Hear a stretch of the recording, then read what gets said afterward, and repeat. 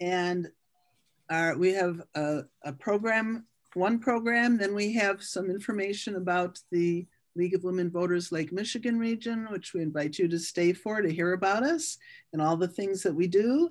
And then we have a second program and we should be done around 1230. If you have questions, please put them in the chat box and we will have, oh, there's Liz. I see there was one person. I, uh, hi, Liz, welcome. We'll make you a co-host. Um, uh, Liz, I'm going to introduce Liz Solberg and she is the League of Women Voters of Indiana Natural Resources Chair, and she will introduce our speakers, our speaker, and then Nancy Moldenauer and Barbara Hargrove will be handling the question. So I'm going to turn it over to Liz Solberg. Thank you, Liz, for uh, joining us today. All the way up and down.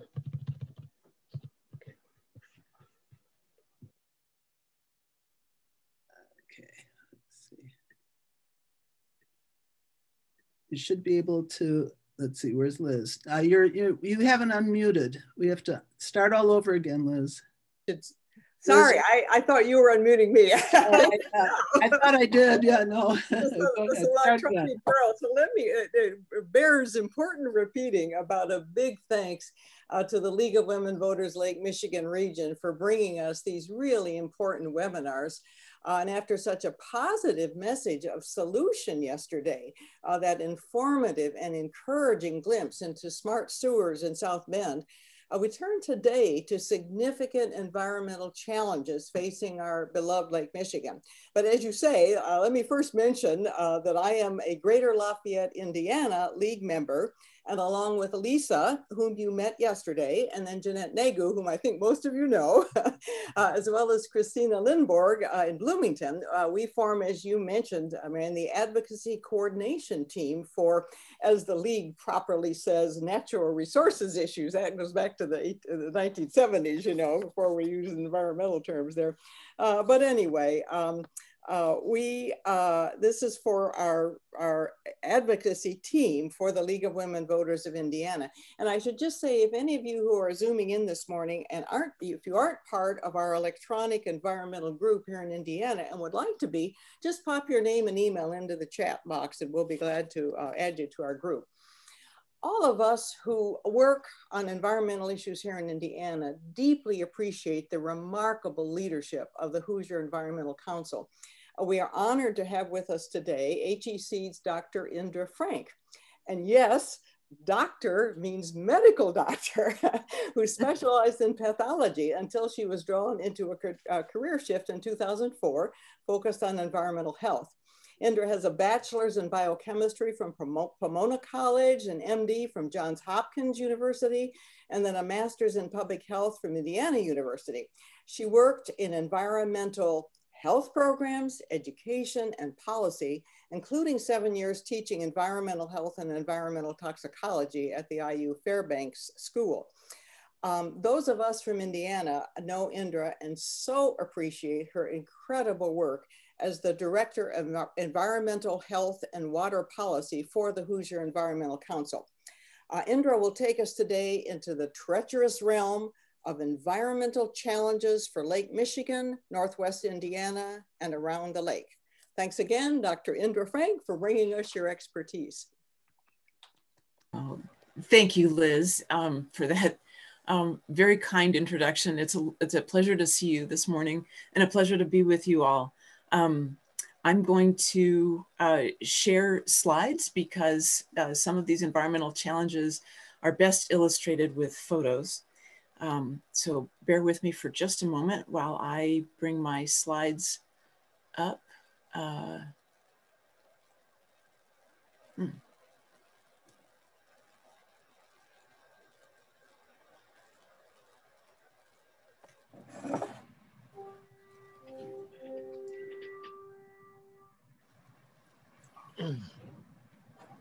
All right, that should be showing now. Great. Um, I'm sure as, as many of you know, the lake has many environmental challenges. We won't be able to cover all of them. Um, I will be uh, talking about coal ash and then some of the others that we deal with in, here in Indiana that are um, shared amongst the Lake Michigan states. As Liz said, I'm with the Hoosier Environmental Council. Um, the council has been around since 1983, working for a cleaner, healthier environment and sustainable economy for Indiana. Um, we are a not-for-profit uh, uh, organization. So I have the privilege of working with this marvelous team of folks um, at the, the Hoosier Environmental Council. And coal ash is a, a big issue uh, for several of us at the, at the Hoosier Environmental Council. Coal ash, of course, is the material that's left behind after burning coal. There are the four types of coal ash that are illustrated here on the uh, screen, depending on what part of the power plant you, you uh, take the ash from. Um, there's a lot of coal ash. 6,849,800 tons of it were produced in Indiana in 2018. That's the most recent year for which we have full data. Over 100 million tons per year are generated nationally. Um, this is one of the largest industrial waste streams um, in the United States.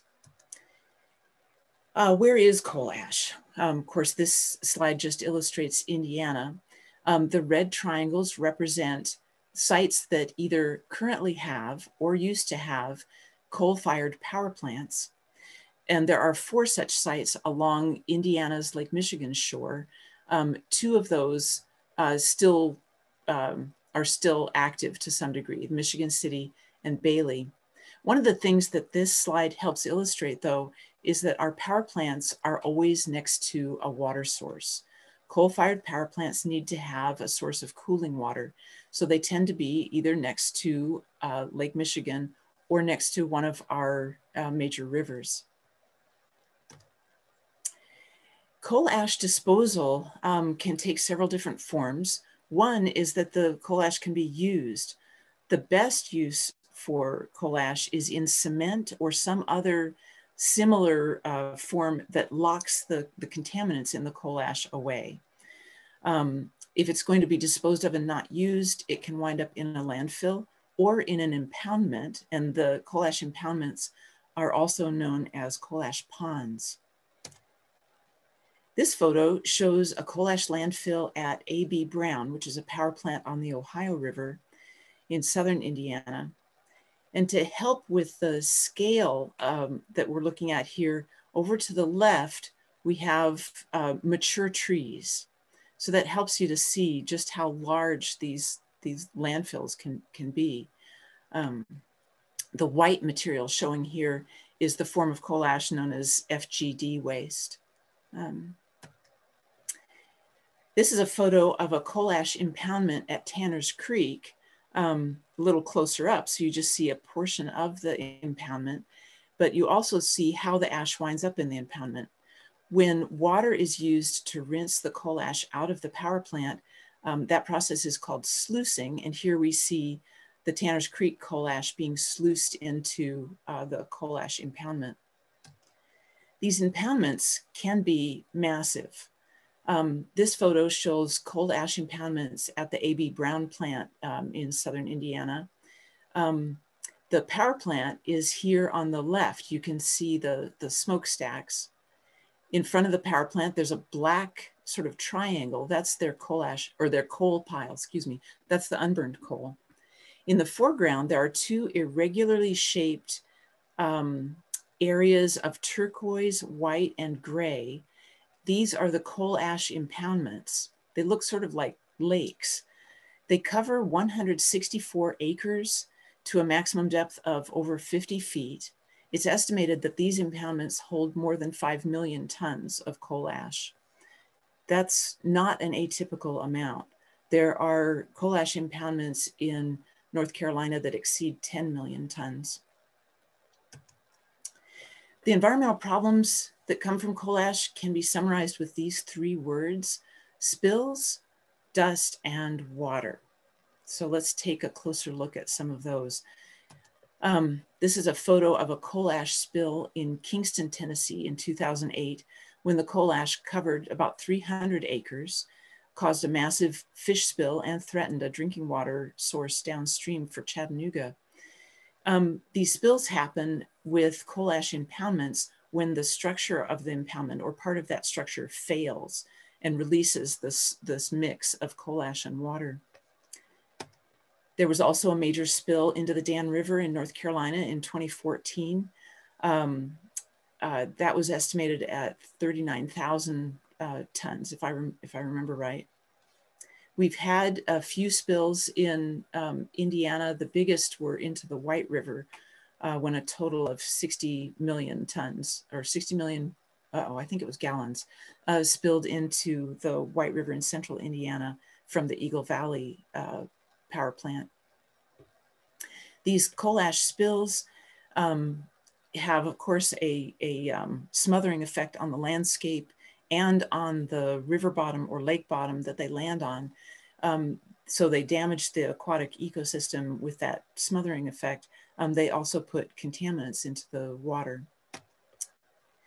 And then dust. Uh, this is a picture of coal ash dust at a landfill in Oklahoma. Unfortunately, coal ash dust can be as fine as one micron in size, and that's small enough that it can be inhaled all the way into the small air sacs of the lung and even be absorbed into the bloodstream as the blood vessels pass through the lung.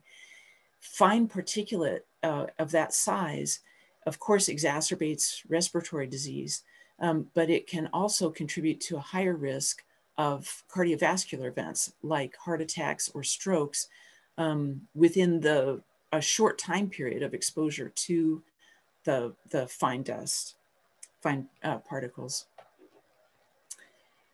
So we've looked at coal ash spills and coal ash dust. Um, next, I'd like to spend some time talking about coal ash and water. Coal ash has uh, heavy metal contaminants in it that can contaminate water. the best way to deal with coal ash is to keep it dry. Um, so in this illustration, we have a schematic of a coal-fired power plant. That's the gray uh, sort of series of structures here in the background. Um, in front of that, uh, just a graphic to represent a landfill. If a landfill doesn't have a liner under it, then if that uh, ash gets wet from precipitation, um, the contaminants can be picked up by the water and moved downward into the groundwater. So a landfill can contaminate groundwater.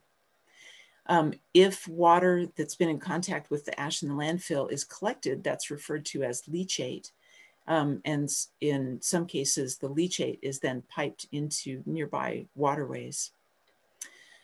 Um, as I mentioned, uh, coal ash can also be rinsed out of the power plant with water so we have some pipes here that represent that process with the ash being sluiced into an ash pond. If a coal ash pond doesn't have a liner under it, then that contaminated water can move downward and contaminate the groundwater. Um, and I'm not sure whether it, it shows for you in, or not, but the, um, the excess water on, uh, as the ash settles, the excess water at the top of the pond um, is moved off of the pond and usually discharged into a local water body like Lake Michigan or the local river. Those, those are the ways that the coal ash contaminants can get into water, either groundwater or surface water. Um, so let's look at a particular example. This is the Michigan City Generating Station that's on the shores of, of Lake Michigan in Michigan City. The photo shows Lake Michigan here in the, in the upper corner, right, the large turquoise area. This is of course a um, aerial photo. In the lower right-hand corner, you can see part of Michigan City. And above that, in the upper right, here's Trail Creek um, as it enters Lake Michigan. The power plant is right next to Trail Creek here. Here's the power plant buildings. Um, and the power plant, plant property is separated from Trail Creek by this straight line, which is a, a sheet pile wall along Trail Creek. And then you can also see there are straight lines along the power plant's property line with the, with the lake. So there's sheet pile wall along here and then along the shore uh, here, this sort of diagonal uh, line. The sheet pile ends uh, oh, around down here, which is near the, the cooling tower.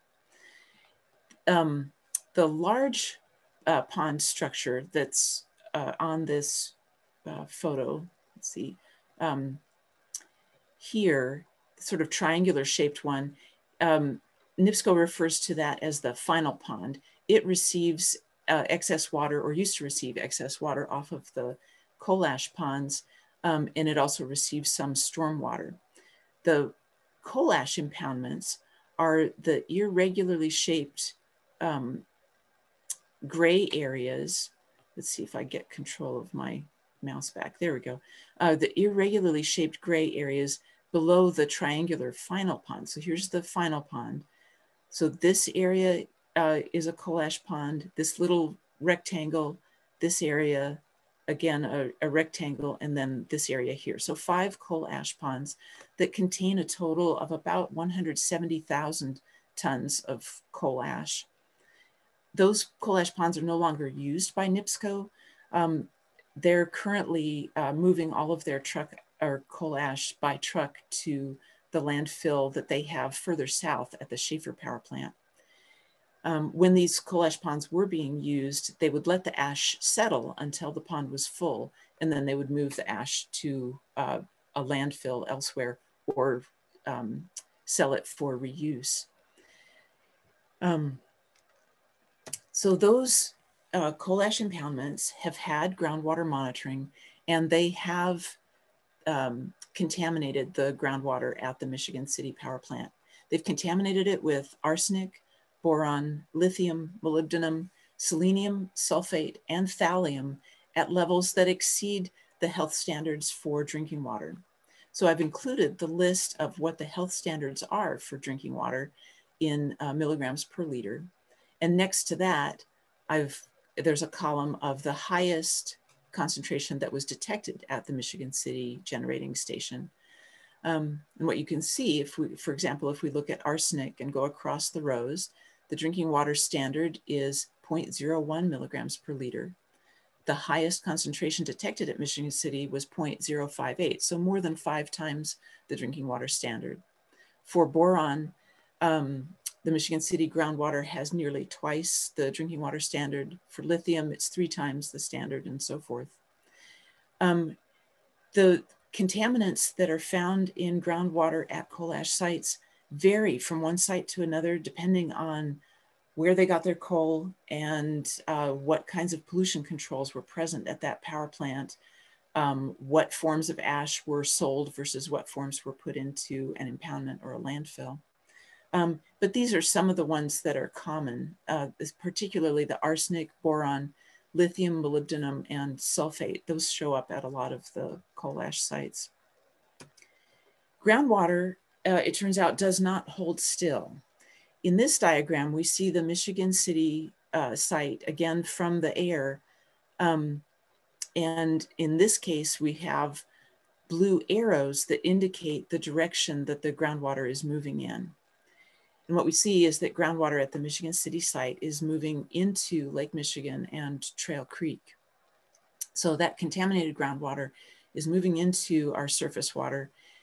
The effect on the surface water or the aquatic species that live there has not been fully studied. Um, that's one of the things that we've been pushing for in Michigan City. We do know that arsenic from the coal ash is accumulating in some of the sediments uh, immediately adjacent to the power plant property. And once uh, arsenic is in sediments, it can move up the food chain and wind up in fish. The Michigan, so Michigan City has an impoundment closure plan. Um, under the federal coal ash rule, once a coal ash impoundment has contaminated the groundwater, um, the utility is required to stop putting coal ash into that impoundment and close it. And in this point, in this instance, closure means um, taking the ash into a final disposal form. At Michigan City, they're proposing closure by removal. They're going to remove the ash and take it to a lined landfill that they have further south at Schahfer. And that landfill is not in the floodplain. As I mentioned before, the best thing we can do when we dispose of ash is make sure that it's not in contact with water. So the fact that this landfill has a liner underneath it will help protect the groundwater. Um, they'll, they'll be building a cap over the coal ash as they fill the landfill, and that will protect it from precipitation. So as coal ash disposal goes, uh, this is the best option for the coal ash that's at that's in the impoundments at uh, Michigan City. Um, unfortunately, the coal ash that's in the impoundments uh, is not all of the coal ash that's present there. Um, and this is true of many coal ash sites, and I'm sure it's true of coal ash sites in our other Lake Michigan states. There can be coal ash uh, that is not, that does not fall under the federal coal ash rule, which is unfortunate.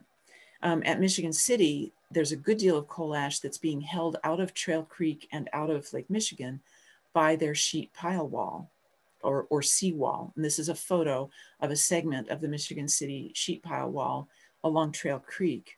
So this steel sheet pile wall um, extends, I think, as I mentioned before, um, along Trail Creek and then along the entire uh, lake shore next to the power plant property. These are aerial photos from 1951 and 1961 that help give a sense of how much coal ash um, is actually present at the Michigan City site. Um, so in the 1951 photo, we can see the, the border with Trail Creek, and it doesn't show well, but there's a coal ash impoundment right here uh, next to Trail Creek um, that's essentially being held in by the, the sheet pile wall. And then we see the other sheet pile wall, this triangular shape um, that at this point at, in 1951 basically just had water behind it. Um, so here's Lake Michigan off to the, to the left. And then you have water of Lake Michigan that's separated by the sheet pile wall. And you can see the, the beach, the sandy beach still present um, in the 1951 photo uh, next to the water. In the 1961 photo, you can see that they've started to fill in that section of water that's behind the sheet pile. And here we have a large gray area that's uh, coal ash. So they were filling in behind the, the um, sheet pile wall with coal ash according to their documents from 1931 to 1972, coal ash, soil, and sand were used to fill in behind the sheet pile wall. So I've, I have the 1961 photo here again, so that you can compare it to today's photo in uh, 2020. Uh, by the early 70s, they had uh, between 10 and 20 feet of this fill material behind the sheet pile, and that created what they call made land. This is not the only site along Lake Michigan where uh, land was made with using fill in, in this way behind sheet pile. On top of that made land, uh, they built uh, an extension of the power plant uh, here next to Trail Creek. So we've got more buildings and parking lots on top of the old coal ash impoundment. And then the, the current day coal ash impoundments were built on top of the coal ash fill. So unfortunately, that coal ash fill um, exceeds the amount of, of coal ash that's in the uh, coal ash impoundments. We don't know the exact number, but even if we do a very conservative estimate and say, well, perhaps the fill was only 20% coal ash, um, that, that amount of coal ash would still exceed the amount that's, that's in the impoundments. I suspect it's a good deal more than that, uh, based on the photo we have from 61 that shows all of this coal ash uh, going into the, the area outlined by the, the sheet pile. Um, there's a, another issue that we uh, have to look at at our, at our coal ash sites, and that's whether the coal ash is being disposed of in the floodplain. Um, here at Michigan City, um, this photo shows that same aerial view and you can kind of make out where Final Pond is, that triangular shape that's next to the, the lake shore. Um, this turquoise swath represents the 100 year, the estimated 100 year uh, flood. So there's a chance of a flood this large, approximately 1% per year, and it's referred to as the, the 100 year floodplain. along Trail Creek, you'll see that, that there's the flood area is marked in yellow. That's to represent floodway, meaning the area where the floodwaters move the fastest. Um, again, the best thing we can do with coal ash is to keep it dry. So disposal of coal ash in the floodplain um, is problematic and it's happening uh, it, at many sites and could be happening in uh, the other Lake Michigan uh, states as well. So to, we can sum up the health and safety issues from the Michigan City coal ash this way. Um, dust, when the ash is dug up and moved, that's certainly a concern because this site is, is placed right in uh, the city and that dust could affect residents as well as the workers who are, who are uh, busy excavating the ash. Ash contaminants seeping into Lake Michigan and Trail Creek from the contaminated groundwater. Third, uh, continued groundwater contamination after the ash ponds are removed because of all the ash that's buried at the site as fill.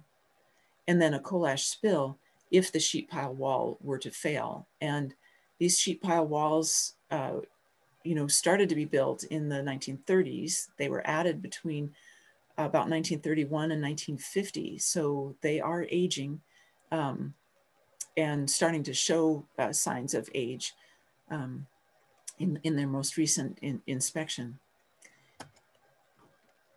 We do have a federal coal ash rule um, uh, to help us with coal ash disposal. Um, its official name is the Coal Combustion Residuals Rule, and that's often abbreviated the CCR rule. It is the first uh, US regulation of coal ash disposal, despite the fact that we've been burning coal in this country since uh, the 1800s.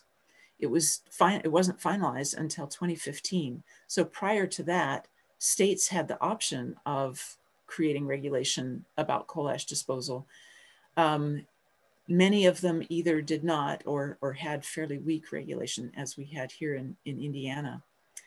This federal coal ash rule uh, from 2015 started to be weakened uh, in 2018. So starting in 2018, we've had four different proposals from the current EPA to weaken the coal ash rule.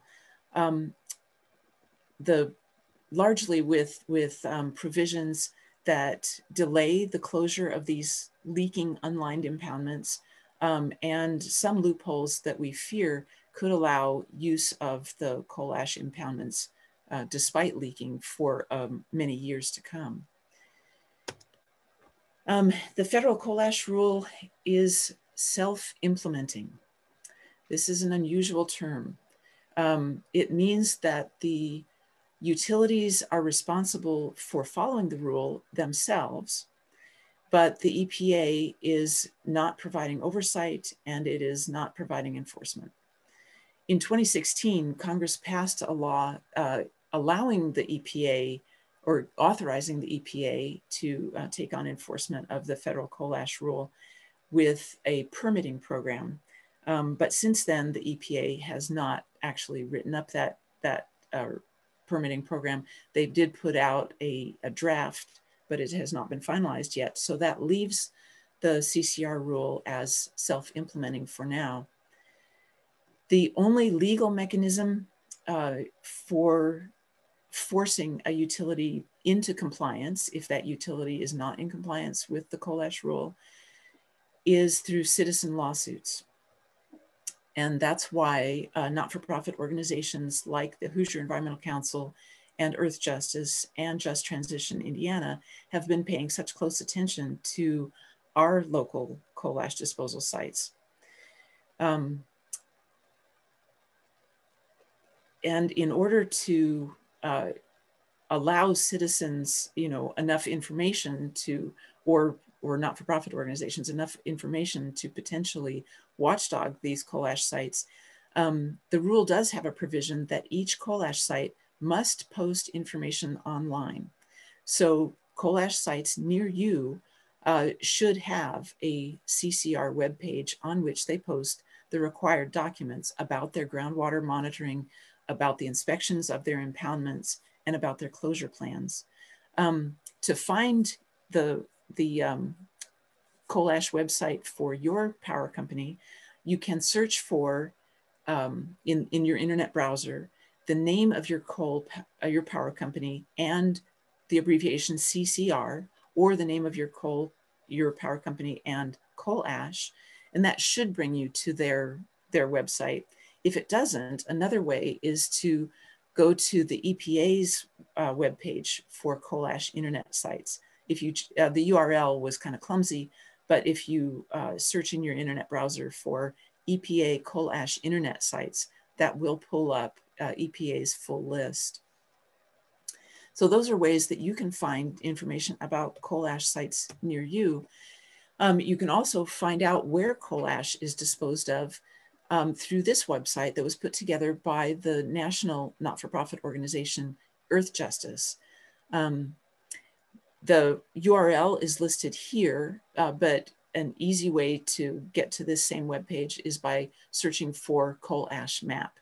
Um, that, that pulls this map up and it's possible to zoom in on the map and click on the individual dots to get information about the coal ash sites that are near you.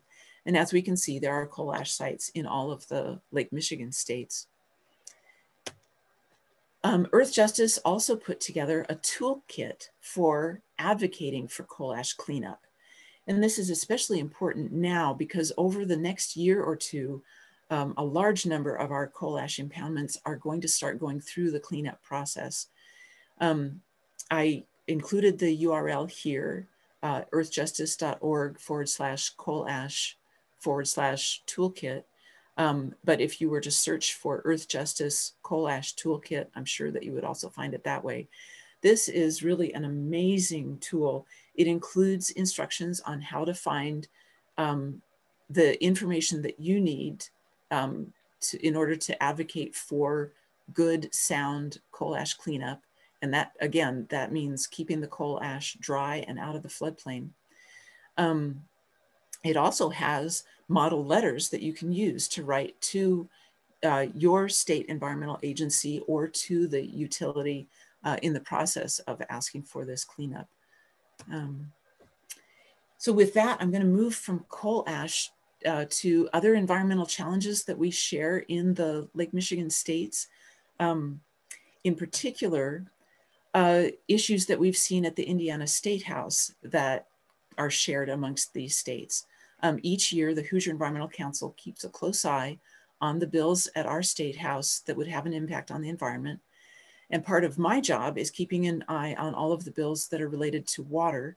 And of course, that means they're also related to Lake Michigan. Um, so a few notable bills from uh, the legislative session in 2020. And I, sh I should comment here that um, Indiana has a part-time legislature. Our legislature meets for the first three or four months of, of each year. So the 2020 session ended just before uh, we all had to go into uh, isolation because of the pandemic in 2020, we had uh, a bill that reduced wetland protection, uh, which is unfortunate.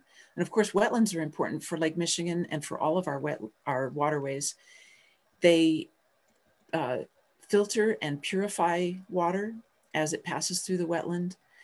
They're also very good at storing excess water. So when there are uh, large storms and an excess of precipitation, wetlands can hold um, large quantities of water, and that reduces flooding downstream. Many wetlands are protected under the Federal Clean Water Act, although the number that are protected was reduced recently by the EPA. In Indiana, there's a law that protects the wetlands that are not under the Federal Clean Water Act. And it was that law that was modified by SB 229 in um, 2020 our one of our state senators, uh, Senator Victoria Spartz, authored this bill um, to ease the wetland protection when it comes to our um, county surveyors and the drainage projects that they engage in. So it makes it easier for them to engage in a drainage project that might injure a, a wetland. We also had a, a, bill passed about the shore of Lake Michigan in Indiana, House Bill uh, 1385. What this did was codify uh, parts of a decision made by the Indiana Supreme Court uh, in the Gunderson uh, versus the state uh, case. Um, this puts into Indiana law a provision that says that the state owns the, the um, lake bottom up to the ordinary high water mark and holds uh, that, that land in trust for citizens of the state. That means that from the water line up to the ordinary high water mark, that portion of beach is public property.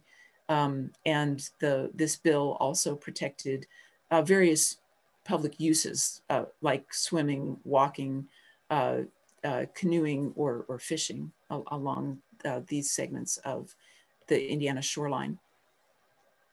Um, this uh, the lawsuit and then the, the bill came about because there were some private property owners who unfortunately um, were told when they bought their property that the property uh, extended all the way to the water line.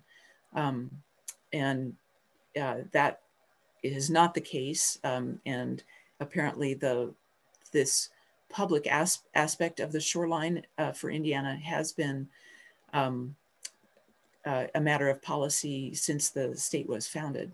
So now we, we actually have it codified into law that uh, the, the shoreline up to the ordinary high water mark is, is public. PFAS, we had a bill passed about PFAS. Um, it prohibits the use of PFAS containing firefighting foams during training. This is a good thing. Um, PFAS are a family of chemicals that are perfluoro or polyfluoroalkyl substances. That means they have fluorine atoms attached to um, uh, some carbon uh, backbone. Um, so like I said, a family of chemicals, they're used in uh, many, many products uh, along with firefighting foams. Um, and as a result, we are seeing uh, sites with groundwater contamination from the PFAS, and this is becoming an issue for drinking water. I know that Michigan has taken steps to address uh, PFAS in drinking water. Indiana has started looking at some of our drinking water systems to assess whether PFAS are, are a threat. This is an issue that we're going to continue to see um, over, over the next few years. There was a bill proposing annual uh, inspections for confined animal feeding operations in Indiana. Uh, this one did not pass.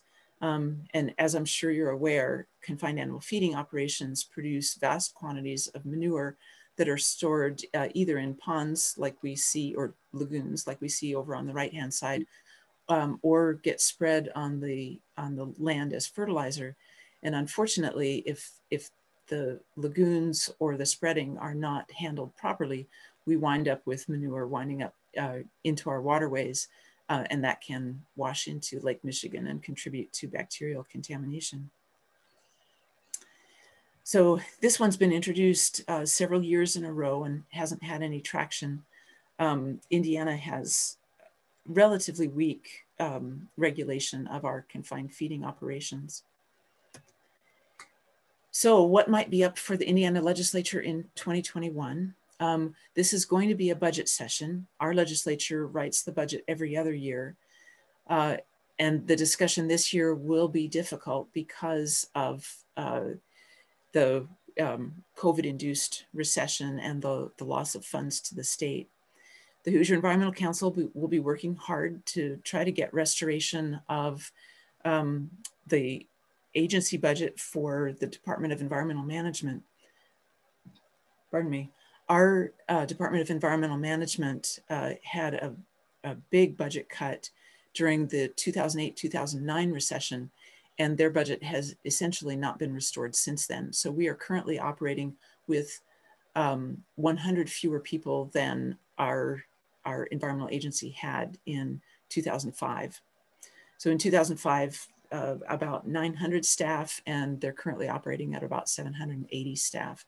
This makes it harder to enforce the environmental regulations in Indiana, harder to have uh, sufficient staff for inspections and uh, pollution prevention programs as well. We anticipate a bill about carbon sequestration. This is a surprise for Indiana, um, a very conservative state where the words climate change uh, are virtually never heard in the state house. Um, it turns out there are uh, Indiana corporations that are working to reduce their carbon footprint, and they are interested in uh, carbon offsets that they could purchase in state. So uh, we have legislators working to put together a bill that would create carbon offsets through forestry projects or through projects uh, where farmers build organic matter in the soil. And of course, if you're building organic matter in the soil, that stores uh, carbon in the soil. So we're looking forward to, to that, that bill. Um, and we may see a, a, bill on septic inspections, a bill that would increase inspections of septic systems in Indiana. Um, this bill has been introduced each of the last uh, couple of years um, and may return. It hasn't had much traction yet uh, Indiana uh, residences, uh, approximately, um, excuse me, there are approximately 200,000 uh, failing septic systems in Indiana. That's an estimate from our state health department. Um, but the, the full number is not known and uh, the measures to get those uh, leaking septic systems in, in, under control are, are fairly weak for our state. So it'd be, it'd be good to see this discussion come back. The Hoosier Environmental Council posts information on Indiana's environmental bills every year. Um, and we uh, provide information about those bills in our um, e-newsletter, our email newsletter. Um, it's possible to sign up for our e-newsletter at our website, which is hecweb.org. The newsletter goes out once or twice a month during um, most of the year. And then during the legislative session, it goes out once a week because things can change very rapidly with the bills at the State House. And it gives Indiana voters a chance to see what their legislator uh, is up to that would have an impact on the environment. Um, we also maintain a Bill Watch webpage. Uh, this is a photo from Bill Watch 2020. And of course, there will be a Bill Watch 2021 uh, for the bills uh, that come from our legislature starting uh, in January. Every year, the Hoosier Environmental Council holds um, our annual conference in November. Uh, so just a, a month or so prior to the beginning of the next legislative session. And we discuss the important policy issues that we anticipate in the, in the, the coming session. This will be our 13th annual Greening the State House. Uh, it'll be November 20th and 21st. Um, of course, it's being held virtually this year. Um, uh, and there's information on how to register at hecweb.org uh, forward slash GTS. Everyone's welcome. Um, the conference has sold out each of the last five years with as many as 550 people attending. But um, this year, since it's virtual, we actually have capacity for even more than that. And, and who knows how many people will attend. We have a, a really awesome um, platform for doing the virtual conference. And so, I mean, I'm really going to miss being able to see people in person, but our virtual platform does have a really nice um, mechanism for networking, for allowing people to network during the conference. Um, and finally, of course, you can find the Hoosier Environmental Council on social media as well as on our, our website. Um, and with that, I'll uh, stop my screen share. I realize I might have gone a little fast. I'm actually uh, ending early. Um, but Nancy, I'll, I'll pass it over to you. I think you were going to um, start on to our, on our questions. Um, yes, um, Barbara Hargrove and I will be um, reading the questions as individuals enter them into the chat box. Um, we have several already, but please, um, if you have any questions regarding Indra's presentation or anything regarding coal ash or the Great Lakes region and pollution. Um, we'll try to deal with those the best that we can. Um, Barbara and I will be going back and forth. So um, I'll ask the first question here. Um, this is from Lisa Harris and Lisa asks, does the coal ash contained in concrete get released into the environment with wear and tear and or when it is crushed for other purposes? Oh, that's a good question. Well, um, I don't know all of the details, but I do know that engineers at the EPA studied um, coal ash being put into concrete or bricks or cinder block, you know, other forms of, of uh, sort of pavement, you know, where it's, where it's solidified like that. And my understanding from the EPA report is that cement really is one of the best ways of controlling the contaminants from, from coal ash that even if that cement is broken up uh, into smaller bits, um, the coal ash contaminants remain kind of bound up so that they, they won't get back into water. Um, there, unfortunately, there are other uses of coal ash that do not prevent the contaminants from getting into water. And this is something to look out for. Um, I mentioned one during my talk. Coal ash has been used extensively as fill material, both on PowerPoint, power company properties, but also on um, private property, as, as we saw in the town of Pines in, in Indiana. Um, it's been used as roadbed and uh, there some of some of the uses of ash, particularly when it's used as fill, do not protect water resources. Um, another problem we've had with, with use of coal ash or so-called use, beneficial use, uh, was uh, power companies placing it into old coal mines to try to fill up the mines. And of course, those mines go deep enough to have contact with the groundwater. So basically this dumps the coal ash straight into the, gold, the groundwater. Um, so yeah, the, the phrase beneficial use is something to watch out for. If you start reading about your local coal ash, the only use that's truly beneficial is when the coal ash is locked away uh, in, in what's called an encapsulated use, like cement. Thank you, Indra. Most excellent answer. Um, Barbara, will you take the next question, please? Sure, I'd be happy to. Thank you. What is the current status of the sheet pile wall on the shores of Lake Michigan in light of the high water level fluctuations? That's an excellent question. Um, I have heard from private individuals that they've seen waves actually crashing up over the the um, sheet pile wall during storms. Um, in a recent uh, public meeting, NIPSCO answered this question by saying that the sheet pile wall undergoes, you know, regular inspections by their staff and on a, I think every other year basis, they have um, a, a third party come in with engineers and inspect their sheet pile wall.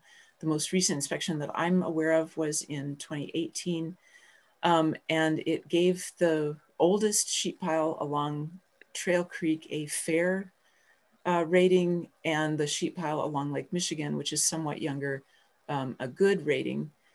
Um, uh, you know, NIPSCO has made statements, uh, you know, about their commitment to maintaining the sheet pile wall. Along the, the lake shore, they actually have two sheet pile walls separated by, I think, five or six feet uh, distance from each other just to for added protection. And I think there's sand between the, the two layers of, of sheet pile. But this does raise another, another issue. Um, coal ash is a forever pollutant. These are heavy metals that are that are in the coal ash. And heavy metals don't break down over time. I mean, they can move, like when groundwater picks them up and moves them, but but they don't break down. Um, and sheet pile is a man-made structure that does not have a forever uh, lifespan. Um, so I, I am worried about leaving that amount of coal ash in the Lake Michigan floodplain with uh, you know just sheet pile to to hold it back. Thank you so much. Um, the next question is from Cheryl Chapman, and the question is: the federal coal ash rules just been loosened October 16th. Does Indiana have its own rules to protect us? It looks like they're allowing places like NIPSCO to determine whether or not they are polluting the groundwater with unlined coal ash ponds? Yeah, well, actually, I'll, I'll start with that, that last question about the groundwater. the utilities are required by the federal rule to monitor their groundwater at coal ash disposal sites. That's one of the best things that that federal rule did. We now have systematic groundwater monitoring at all of our coal ash sites. Um, and what it shows is, you know, more than 90% of those sites have groundwater contamination. Um, and then the first part of the question was about coal ash rules in Indiana we have some regulations um, that apply to coal ash that predate the federal coal ash rule. They weren't written specifically about coal ash though. So Indiana has regulations about waste impoundments. It also has regulations about waste landfills. And those regulations do apply to Indiana's impoundments and landfills. Um, unfortunately, they did not have stipulations about where you place your impoundment or whether or not it's lined. So how the impoundments were built and where they were built was not controlled. So most of Indiana's coal ash impoundments are in the floodplain of either Lake Michigan or one of our, our major rivers. Um, uh, the vast majority are unlined, and even those that have liners don't have liners that meet the, the current standards under the, the federal rule. Um, Indiana announced in 2016 that it was going to start writing its own coal ash specific rules. But this year, um, largely because of the pandemic and the loss of, of staff or the, the low staff numbers at our um, state environmental agency, they have discontinued the effort to write an Indiana specific uh, coal ash rule. Um, so they will continue um, to uh, evaluate the closure plans for coal, for coal ash impoundments, and they will continue to regulate landfills as they have in the past. Um, but we will not have a coal ash specific uh, Indiana rule.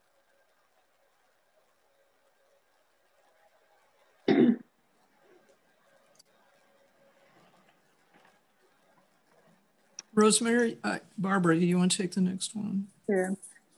Um, do you have a number of how many coal ash plants are on the shores of Lake Michigan? I know you probably know Indiana, but overall? Yeah, that's an excellent question. And I'm afraid I, I'm only familiar or, you know, closely familiar with the ones in Indiana. So in Indiana, um, there are four coal ash sites right next to the, the lake. One of those, the state line uh, power plant that closed a number of years ago, um, I've been told by our state environmental agency that all of the ash there was removed. Um, anyway, um, hard to know for sure because State Line is a site where uh, they built out into the lake with made land. And um, I, I don't know if if that made land included uh, coal ash. Um, and then there's cleanup going on at the closed power plant at Mitchell, which is in Gary um, as, as, well. And I'm sorry, I, I don't know about um, lakeshore or lakefront power plants in, in other states. Can I ask you, for those of us who live in Hammond and Northwest Indiana, um, mm-hmm. we've been wondering about that because they went ahead and it was very quiet how they built the new building over the supposed, you know, cleanup of the area. Is there any way that we can find out if that area was truly cleaned up? I mean, I, I, I don't mean to get off on a tangent, but I, I'm just, I have a lot of people who are really curious. Right. Yeah. It's, I mean, it's an excellent question. I looked into it um, starting a couple of years ago because of the proposed new building at State Line. Um, and the best I could get uh, from the documents that are available was that they had an ash impoundment. Um, they hauled all the ash to a landfill.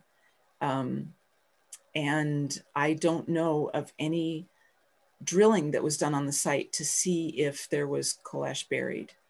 Um, our, and our state environmental agency simply told me, oh, all the ash was cleaned up at state line. Okay, thank yeah. you. Appreciate it. Our next question is from Cheryl Chapman. Do the four um, Great Lake I'm sorry, do the four Lake Michigan states have an emergency plan for cleanup if there is a big spill into Lake Michigan? Oh, that's an excellent question.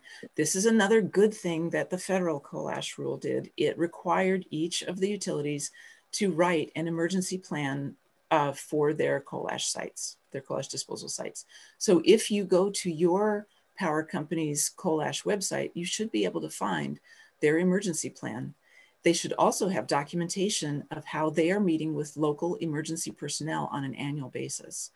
Um, their emergency plan is supposed to include a map showing the estimate of where a spill would go if their coal ash impoundment has a failure. So they're required to write those plans. Um, and fortunately, they're, they're also required to meet with local emergency personnel.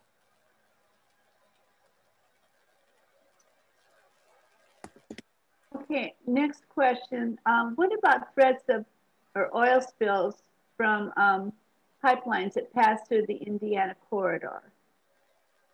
Oh, that's that is a really good question. Um, I'll share what I know, but it's limited because it's an issue I haven't worked on.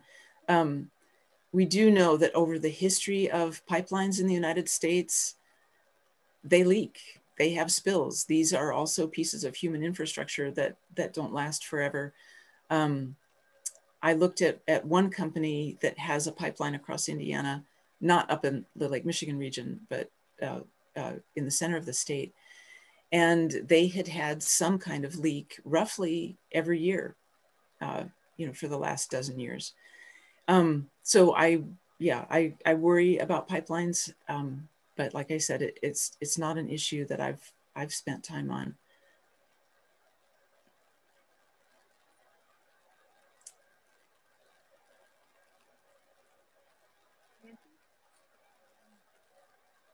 Um, this question is from Tricia Denton. In general, are you seeing any difference between national and local trends in water protection policy and or enforcement? Hmm. Well, that's a good question. There was a study released just last year by the Environmental Integrity Project looking at um, uh, enforcement trends under the Clean Water Act. Uh, it's an excellent study. Um, and it shows that, of course, at the federal level, we've had um, multiple uh, proposals to weaken um, regulations that protect our, our waters over the last four years. Um, uh, it, it also shows that, you know, despite the EPA's statements about freeing up the states to have more flexibility and take on their environmental uh, problems themselves, um, the majority of states um, uh, actually have a relatively, well, I forget actually what how, how exactly how they've worded their conclusion. Um, I, I, think it was that the majority of states either had, um, you know, lower budgets than they've had in prior years or lower staffing that they've had in prior prior years. So that was that was a, a, a report that I'd, I'd recommend. Environmental Integrity Project. Um, and I can't, I'm sorry, I can't think of the title of it off the off the top of my head. But certainly at the federal level over the last four years, we've we've seen um, multiple attempts at deregulation uh, weakening regulations that protect our waterways and uh, uh, lack of enforcement. You're putting it mildly.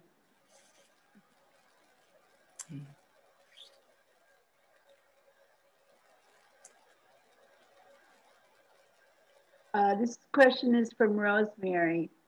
We have an old coal plant here in Illinois in Waukegan, and our lake water levels are constantly rising. What happens if the lake keeps rising?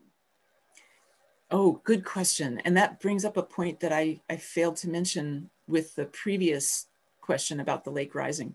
Um, groundwater uh, rises as the lake rises. So you, if the lake is high, or you know, if your coal ash is next to a river, if the river is high, that means that the groundwater next to that body of water will probably also be higher than it would have been during a, a dry period. Um, you know, groundwater elevations do fluctuate over time. This can be a problem at coal ash sites where they dug their, their coal ash impoundment as a, as a pit. Um, so picture a pit that goes down 10 or 20 feet into the ground that you start filling up with, with coal ash. And now as the groundwater elevation goes up, it might start to get into that coal ash. And now you've got coal ash actually sitting in the groundwater. Some of these pits in Indiana were dug deep enough originally that the coal ash is sitting in the groundwater year round. Um, and at others, they're proposing to, to close the coal ash in sight, meaning just build a cap over the old impoundment. And we're worried about that because that means there's nothing protecting the groundwater underneath. And as the groundwater rises, like when the lake rises, the groundwater can come up into contact with the coal ash again. Um, so yeah, one of, one of the things that we'd, we'd really like to see is coal ash taken out of the unlined impoundments and put into lined disposal on high ground out of the, the floodplain um, so that we don't have to deal with, with these changes in groundwater level or when you've got ash disposed of in the floodplain, and I don't know at Waukegan whether it's actually in the floodplain of the lake or not, but when you dispose of ash in the floodplain and then the water rises, you could start to um, erode into the impoundment or into a closed impoundment, uh, and that poses a risk of releasing the ash into the surface water. Um, so yeah, the, the rising lake level um, is also an issue for coal ash. For all of us. Thank you. Um, this next question is from um, Representative Pat Boy. Steel mills with blast furnaces use coal to make coke for the basic oxygen furnaces. Do they have coal ash residuals? And if so, what are they required to do with it? Oh, Representative Boy, I'm glad you're with us today. Um, and thank you for your commitment to environmental issues. Um, that's an excellent question. I am not aware of ash accumulating at sites that make coke. I do know that we have had Superfund sites that used to be coke plants. So these are dirty operations that can leave behind soil contamination and groundwater contamination. Um, to my knowledge, they are not regulated under the coal ash rule. The coal ash rule stipulates that if you're generating more than a certain number of tons per year of coal ash, that that you're um, you know obligated to follow that that rule. Um, I yeah, so I'm sorry. There's a sort of a gap in my knowledge there. I don't know of coke plants actually making coal ash. So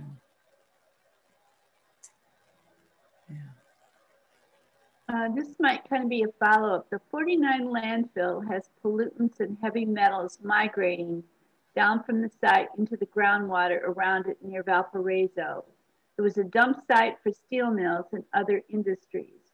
There's a coalition working on it, but what do state and federal laws say about this?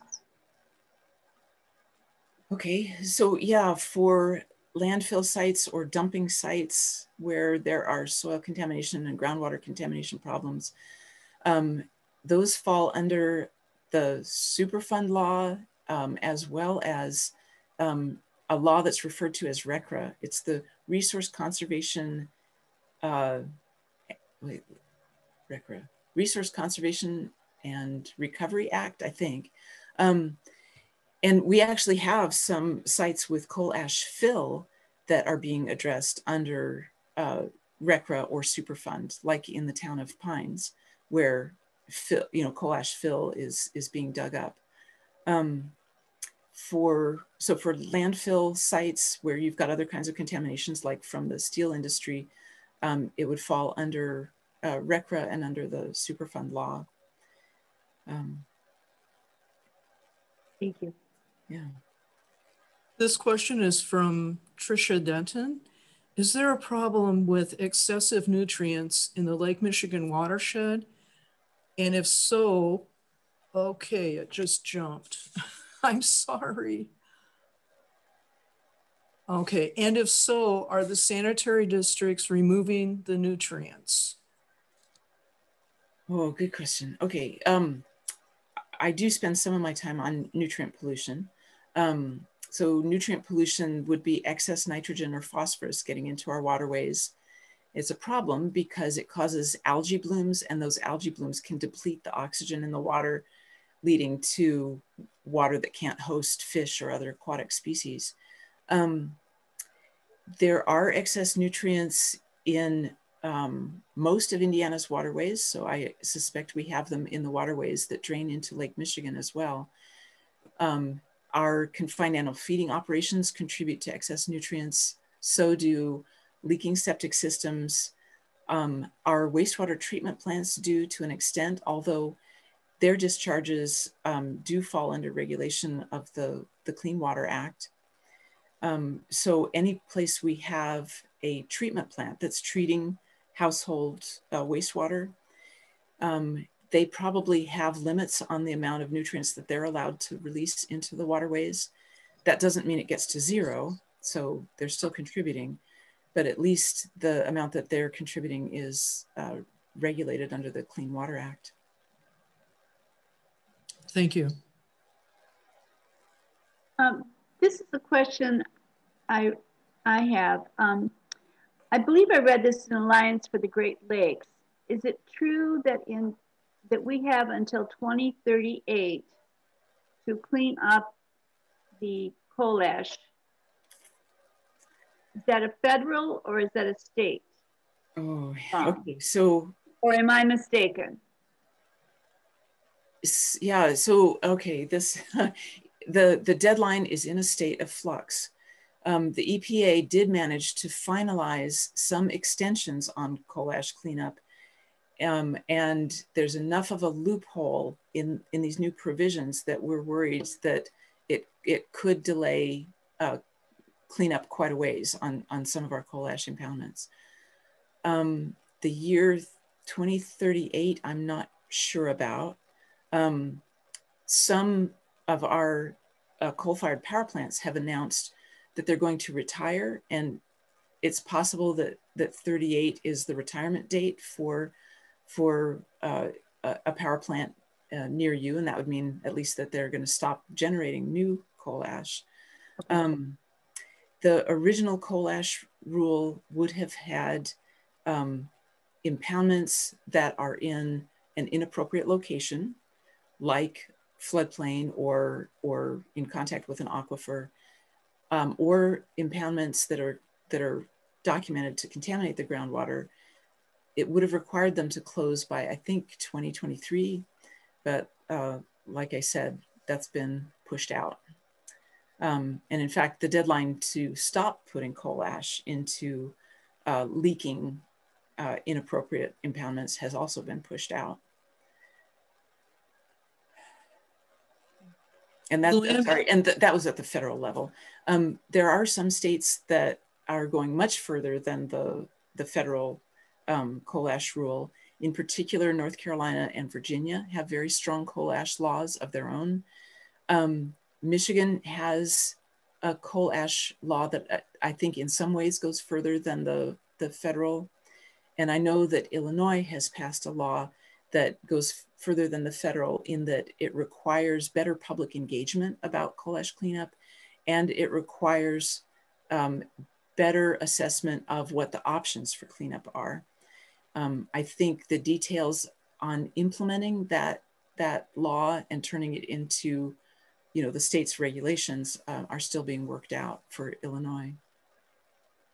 So in Indiana, it kind of depends on, on where you are and what, what plan that you have then what you're saying. Right. So for for Indiana, um, our coal ash sites are regulated under the federal coal ash rule. Okay. Um, and then there are some sites that are being addressed under RCRA, like the coal ash uh, fill and landfill uh, in the town of Pines.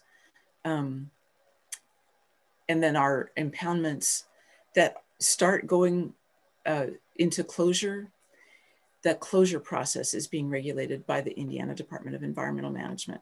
So um, our environmental agency, state environmental agency, is looking at closure of the impoundments. But as I said earlier, they didn't have any regulation about where the impoundments were built or how they were built originally.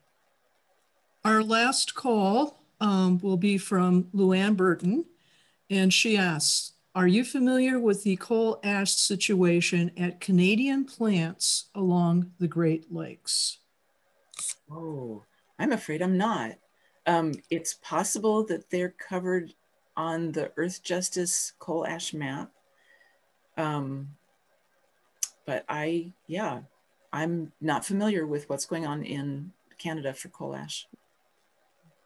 Um, Indra, I want to thank you for a most excellent presentation and your outstanding in-depth answering of our questions. It's been a joy and truly an inspiration to have you with us this morning. So thank you very much. Thank you for your kind words, Nancy. It's been a pleasure to be with you. All right, now uh, we're going to tell you a little bit about the League of Women Voters Lake Michigan. I'm going to turn this over to Cheryl Chapman, who is the uh, chairman of the conference committee. So Cheryl, we want you to take a little bow. Uh, you have to unmute yourself. There you go. And uh, Cheryl Chapman, are you? I think I'm still muted. There we go. Okay, yeah. Hi. Well, thank you everybody for showing up. This is so fantastic. I'm so glad this is going, um, that we're recording it and hopefully we'll figure out how to archive it onto our Lake Michigan League of Women Voters website. Um, it's just great to see all your smiling faces here. Wow, what a crowd. Um, I'm going to introduce Dalia Zygas, and um, she is a local city councilwoman. And let's see what you've got in store for us this morning, Dalia. Hi, good morning, everybody. Uh, so uh, let me tell you just a little bit about myself. I am currently a councilwoman in Michigan City, but the start was really with the League of Women Voters. When I moved here in 2013, I joined the league, and that was an excellent networking opportunity. I met so many people and gotten so involved in so many organizations since then. Uh, so I've been active in league. I've been on the board for a while, and I still help out, you know, when I can with the league. I've also attended a couple of these conferences, which are always excellent. And so, uh, what else do I want to tell you here? Oh, so I want to tell you our conference is the good, the bad, right? And the ugly let's talk about some good. So if you recall, four years ago, we had the Lake Michigan League conference here in Michigan City, and I did a Trail Creek environmental restoration tour. And so I thought maybe you'd like to revisit that and kind of see some of the projects we did. I haven't updated it. It's actually up on my website for all time until I take down the website, but I really would like to share, uh, you know, some of the photos from that lovely field trip that we did. So let me see if this works here. And I think it's gonna go forward. So yeah, maybe you'll see yourself, maybe you'll see people that you know, I'm sure you will. So um, like I say, this is a, we went around and saw the different projects done by the county, done by the city. And we have a big collaboration called the Trail Creek Watershed Partnership, which has governmental agencies and fishermen and all kinds of people involved working on projects for Trail Creek. So we don't have very much new happening right now, except for the Carwick Park Nature Park. So that's going to be opening up soon. But otherwise, it's really hard to even meet together, as you probably all know. So I don't know. Let's take a look at some of the pictures. Just revisit ourselves from four years ago. That's at the county park. That's Jeremy Sobecki. So anyway, we're still active as much as we can be during, you know, the COVID uh, time period. And so, you know, besides me, I know Pat Boy is here, and Pat Boy is uh, House District 9. She was also very active in our local lead. I don't know if she wants to give a shout out and say hi. I see pictures of her in there too. Pat, do you want to say anything? Um, let me make sure I unmuted her. Uh, I might not have. Let me find her name. There she is. No, I will unmute her. There we go. Hi, everybody um, I remember that trip. That was a really interesting trip. It was really cool to see the uh, those orange balls down there are the uh, eel barrier because we have a salmon stream here. Uh, learned a lot. I've learned a lot through the league. It's been a great experience. I haven't been as active lately, but nobody has been either. so I don't feel too bad. Um, well, you guys have been, but um, I've been more or less isolated this summer. It's frustrating. Um, this this was a really great trip. We learned a lot of stuff at the at the at the event and then and the on the tour too. That's all. All right. Well, like I say, I hope you enjoy seeing people, you know, people that maybe not not around anymore, but uh, people that had a good time on our little field trip. So uh, what I want to do is, so my next job is to introduce the president and have the president's report about the Lake Michigan League's activities from last year. So if we can, take it away. Thanks, Dalia. Hi, I'm Krista Graham. I'm the president of the League of Women Voters Lake Michigan region. I also am so happy to see so many people turn out for this. Um, and thank you all for joining us. Um, I want to make, I, I want to thank Indra as well. You, Indra, you are a terrific communicator. And also um, to um, reiterate something that Nancy said, um, I was reminded as you were answering questions of the time that Kevin Shafer, who is the executive director of the Milwaukee Metropolitan Sanitary Sewage District, I think is the, is the organization, where he told us that he had never been grilled as hard as as he did by our league audience. So, you know, congratulations, you made it through a really tough morning. Um, I also want to thank um, our, our organizers, um, especially the co-chairs, Barb Hargrove and Cheryl Chapman. They were very disappointed when we had to make this a virtual conference this year, but um, they, along with all the other members from Indiana leagues, regrouped and organized this um, virtual conference and, and it's been wonderful. So thank you so much. Um, another, the, another thank you that I'd like to give is really personal and that is to our Vice President, Rosemary Heilman, who is manning the board this morning.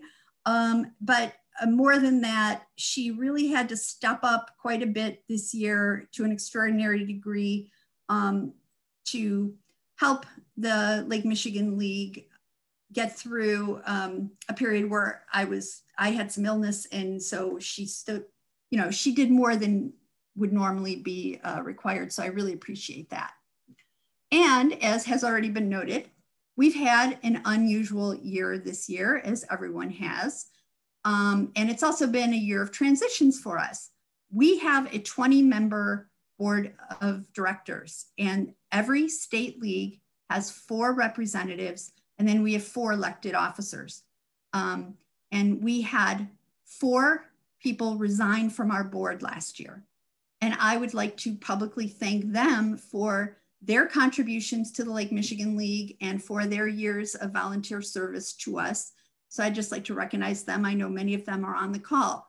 So we have um, thank you to Ruth Caputo from um, Kalamazoo, Michigan, um, Luann Burton from the LWV Sheboygan, Julie Arneth from LWV Green Bay, Wisconsin, and Marjorie Pallion from LWV um, County, Wisconsin. Uh, we also have, um, we added five new board members this year. So that is a quarter of our board turned over in the last year. Um, and so I'd like to publicly recognize them. Trisha Denton from LWV Leelanau County, Michigan, Nora Kelly with LWV Milwaukee County, Mary Beth Nawar from LWV Lake Forest, Lake Bluff, Illinois, uh, Donna Prepakal, and I, I apologize to Donna because I'm sure I mispronounced her name again. Um, she's from the LWV Downers Grove, Woodridge, Lisle, Illinois, and um, just appointed last week, Susie LaBelle from LWV Wilmette. So she has not yet had, you know, an official um, role on our board, but um, uh, we're very ha happy that she has stepped up to fill the opening among the Illinois representatives. And I think that um, it's a good time to remind everyone that if you're interested in our activities, we do have a number of volunteer um, opportunities. You, besides being a, a representative for your state league, which we always seem to have some openings for those positions. So that is one opportunity for a way for you to get involved. But we have committees and um, and even just some of the smaller tasks for our our annual meeting, you know, things like serving on our budget committee or serving on our bylaws committee. Um, we have many opportunities for volunteering. And if you'd like to be more involved with us, please reach out because we would welcome you with open arms. Um, another transition for us this year, um, and it is really important, is that we started to have our quarterly board meetings via Zoom. And um, I'm sure that many people have moved their meetings to Zoom, but it's really important for us because we had board meetings that had to travel 600 miles to attend our board meeting, you know, being an organization that covers four states. Um, so we had tried it in the past and we didn't have as much um, uptake where people were not that um, willing to participate. But the COVID-19 has forced us to um, move, you know, use the technology that's available. And it makes it much easier for people to be board members. Um, so that's actually a good outcome. Um, as for, well, our main activities are education and advocacy, just like with every league. So um, as I said, it's an unusual year for us. As far as education goes, um, this has been the first event that we've really been able to have um, for members. So, and again, I thank everyone for putting pulling this conference together. On the advocacy front, we've been keeping, uh, we have been able to be pretty busy. Um, and um, we are having our actual annual business meeting next month on November 14th. And it's going to be via Zoom and people can attend that. And maybe we can go into more detail on our advocacy activities then. Um, but I've been told to keep it short, so I'm going to, you know, kind of gloss over things. But at the federal level, we do a lot of our advocacy with the Healing Our Waters Coalition, and we have continued to be active with them. So we signed on to several letters this year um, asking the federal government to take action to stop water shutoffs um, for people who could not pay their bills, especially in light of um, COVID 19. And we, of course, as we always do, we supported in, um, continued and increased funding for water infrastructure. We also signed on to a letter opposing weakening of the National Environmental Policy Act, NEPA, which is very concerning. Um, uh, another, we have also been very active in uh, working with the state leagues this year to take actions on state matters. Um, Trisha Denton is a board member from Leelanau County, as I said. She is our representative to the Oil and Water Don't Mix Coalition in Michigan, which we just joined this year. And um, so we have been taking, um, we took action on several items with them um, opposing Enbridge's Line 5 and, and the permitting process there. Um, and, and again, as I said, maybe at the annual meeting, we'll have time to go into a little more detail. And then we also have taken action in Indiana um, where we signed a letter commenting on the consent decree with US Steel regarding their permit violations um, with the hexavalent chromium uh, discharges. Uh, so this is, I'm, I'm very happy about, you know, working with the state leagues um, and local leagues in the states on local matters like that. Um, the, we are an interleague organization and we were formed to do collaboration. So it's great that, you know, we can, um, these kinds of actions pull our leagues closer together. So um, that is, I'm, I'm, trying to think if there's anything else I wanted to say. So give me a second. I think that's it. So um, uh, with that, I will cut myself short and uh, introduce Joy Guscott Mueller, who is our Education Committee Chair.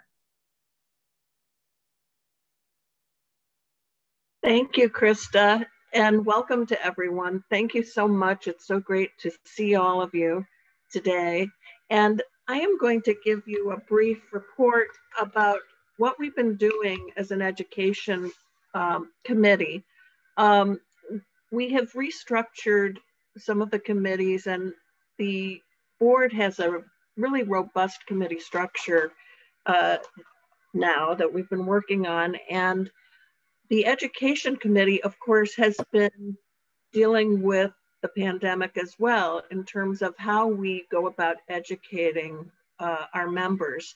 And you, some of you may know that uh, the Education Committee has had a robust speakers bureau that has engaged in many presentations in person throughout this region. Um, we have quite a menu of offerings to give to various leagues and, and community organizations. So you can call on our Speakers Bureau to present presentations such as how green is the, the water, um, rooting for clean water, stormwater from the ground up, whether you should use the water, the Clean Water Act and the future of our freshwater resources, Flint type water hazards, uh, addressing technical and legal aspects of lead con contamination, current water related issues in each of the respective states in the um, Lake Michigan region, the Great Lakes, various challenges and solutions that we are all facing, um, PFAS presentations, and emerging Great Lakes um, issues. So this is just a, a handful of the offerings that the Speakers Bureau can provide to you and your leagues. And it's a program that's ready to go. And what we have been working on now is working as a, a committee to make sure that the members of our Speakers Bureau and those folks who have expertise in the league who might want to give a presentation, educating them and training them on how to use the Zoom platform, um, sharing um, various documents that they may want to share with a group uh, so that it runs as smoothly as this uh, program has run, thanks to the efforts of the Indiana folks and Rosemary Heileman and her expertise as a Zoom administrator. And so uh, that's what we've been working on. And we just reach out to us uh, and we will be delighted to work with you on presenting an offering that will work for your league and address some of the things that you all want to learn about you know, we believe that advocacy and education, of course, go hand in hand. The first step in advocacy is educating folks that a problem actually exists and what's involved in educating them in this regard as to the science and what can be done. And so we're really committed to not only doing advocacy, but educating folks so you all can become great advocates in your respective regions. And Cheryl also asked me to provide um, just a summary of the advocacy committee report. Krista has touched on that. And the chairman of the advocacy committee is David Mueller, and he is um, an environmental lawyer, and he's right here because he also happens to be my husband. Uh, and so David just wanted me to share with you that um, that the spring and, and summer was a busy time for the Lake uh, Michigan Region Advocacy Program as the current federal administration has really accelerated its agenda of deregulating the EPA. Um, and so in addition to providing comments um, on the Council of Environmental uh, Quality's proposal to weaken the NEPA regulation that Krista mentioned, um, the, the Advocacy Committee also provided comments on EPA's censoring science rulemaking that will weaken multiple environmental laws and regulations by restricting the scientific bases that can be used to justify environmental regulation.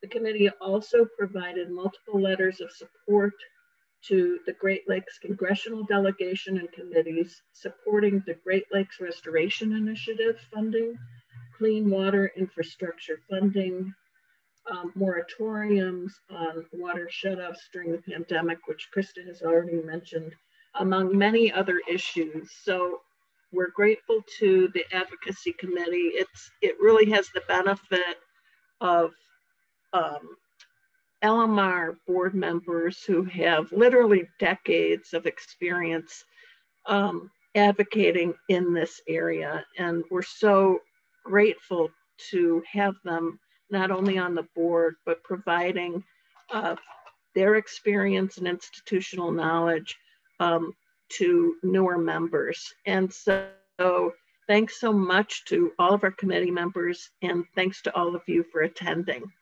And now I have the privilege to introduce Sarah Shirk. And Sarah has um, come up with a wonderful idea to raise money for the Lake Michigan uh, Region ILO. And I'm going to turn it over to her to share that exciting information with you. Thank you, Joy. I, I am the chair of our fundraising committee, so I am here to share with you our fundraising plan. I'm going to uh, direct you to, well, first there are two, two ways to help with this year's auction. Normally we do our auction in person, but we are using an online platform for the first time. And I see a lot of donors out there in the squares. Thank you all to have all of you who have already donated, I, donated, I want to thank you. We're going to acknowledge you at the end. Um, and for those of you who can stay, you're going to get a little sneak peek of the auction. It's going to go live in November. Um, let me take a moment to share my screen so you can see some of the opportunities to help support our fundraising effort which in turn supports the advocacy that you've all been hearing about today. So I will share my screen so that you all can see what will be available once we go live in November. This is, uh, as I said, a sneak peek. There are two ways you can help. if you um, uh, would like to make a donation, I just threw it into the chat. There's a form that you fill out if you'd like to uh, make a donation. We're going to run this auction for two weeks and announce the bidders at the close of our annual meeting, which will be on November 14th. And I hope many of you can attend. And just for fun, I'm gonna go through these slides quickly. I only have 10 minutes, but um, if you can help us eh, when we send out the invitation to participate in the auction, if you can share it with your local leagues, that would really help us bring in a bigger audience. So uh, I bet there are a lot of fans of Greta Thunberg out there. We've got a book uh, package, both a book for the younger audience, the one on the left, who is Greta Thunberg, for a teenage audience, as well as uh, for an adult uh, audience, the, the New York Times bestseller of her book, No One is Too Small to Make a Difference. And I think we all know that here at the League. We've got some handmade one-of-a-kind gifts. Uh, these are handmade towels from Ruth Caputo and handmade one-of-a-kind Lake Michigan mugs, perfect for sipping while watching the beautiful lake from your favorite spot. Uh, this is a necklace that is, I'm sure many of you recognize, the lake, those are the Great Lakes, uh, and it is a uh, necklace that we have used for fundraisers. A lot of board members already have one and it's fun to wear. It's a great icebreaker. You, you, people kind of lean in and you can tell them all about the great things that the League of Women Voters Lake Michigan region is doing once they figure out what that necklace is. This is a print that, um, it's a five by seven print unframed that will be uh, again, showing the beautiful lake. That's uh, the artist. I'm looking at my notes here. The artist is Sharon Wade, and that is her favorite view of Lake Michigan. We've got some jewelry. This jewelry is from, for those of you who are from the, let me get this right. Give me a moment. My papers here say this is from the Beach Bum Jewels, which is based in Michigan City, Indiana. We've got a $50 gift certificate uh, for that organization. For those of you who are Vera Bradley fans, we've got this wonderful travel pack of Vera Bradley um, items, including um, a suitcase, a tablet sleeve, a cosmetic bag with mirror, and some other items. This would retail for 362 and uh, you can get it at put the bargain with our auction. That's the fun part about auctions is you often get things for less than the retail price. Save the Dunes has donated a family membership along with some t-shirts to promote their organization. That's another uh, nonprofit that we collaborate with whenever we can. We have a lot of members who also are active with them. We also have uh, five copies of the Shifting Sands DVD. And I actually want to plug this DVD with uh, just a little bit more information about what they're all about. It says along the shore, along the south shore of Lake Michigan, at the crossroads of America, a globally rare environment collided with the industrial giants that built our nation. This coalition, this collision, excuse me, over a century old, gave rise to some of the most influential environmental conflicts of the 20th century and became a microcosm for one of the most pressing issues of our time, sustainability. How do we maintain our way of life without destroying the natural world on which we all depend? And this was a uh, documentary that was shown on PBS. And we've got five copies of that DVD, which you can use for your own education at your, your local leagues back home. We also have a one of a kind glass piece. This was um, donated by an artist who works with the Art and Science Works in Michigan City, Indiana. Some of you may know Vita Kluko, uh, and that again is a one of a kind opportunity. So I'm gonna stop my share now and just encourage people. We're, we're gonna go live, we're, we're getting the platform. My job is to get the platform ready by November 1st for online bidding. Um, and uh, if you'd like to make a donation, I'll be taking those through November 1st. So um, those are the two ways you can help. Either make a donation or once we go live, um, bid on some great items. I hope I hope I have uh, whetted your appetite for some of the wonderful donations we've had. And I want to uh, acknowledge the people who, who stepped up with a, a, donation to help us get this launched.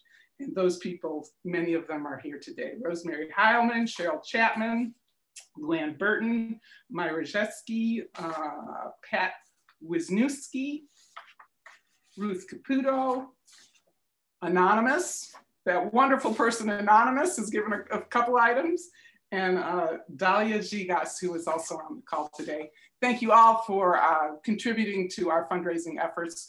We are a lean, mean uh, organization, and we will put any uh, proceeds from this auction to good use for our advocacy programs. Thank you. And if you have questions you can, about the auction, you can throw them in the chat and I'll try to uh, address them throughout the day today. All right. Well, Cheryl, it looks like we we we were very good. We didn't go on and on and talk too much. So we had planned for a 10 minute break, which is basically a biology break. But now it looks like we have about a half hour break, so you could actually have a bite of lunch. Uh, Krista, did you have anything else you wanted to add before we adjourn until our program begins at 11:30? Uh, did you have anything else you wanted that we shortchanged you on your time, maybe? No. Um, thank you for the opportunity. But no, I just, you know, thanks to Sarah, I thought I am certainly looking forward to bidding on those items and they look great. Thanks to everyone who donated. Um, but no, there's nothing else that I want to share. Rosemary, thank you. All right, terrific. All right, so let's take our lunch break for half an hour and we'll reconvene. Well, I'm going to keep this on, of course, um, at 11 at 11:30. So sign on anytime before then. In fact, if you, uh, since it'll be open, um, if you want to sign sign back in and chat with each other in the chat box, that gives you a chance to uh, chat with each other and uh, ask questions or whatever. I'm going to go for a little while. I'll be back. So uh, we'll enjoy the half hours. See you in a little bit.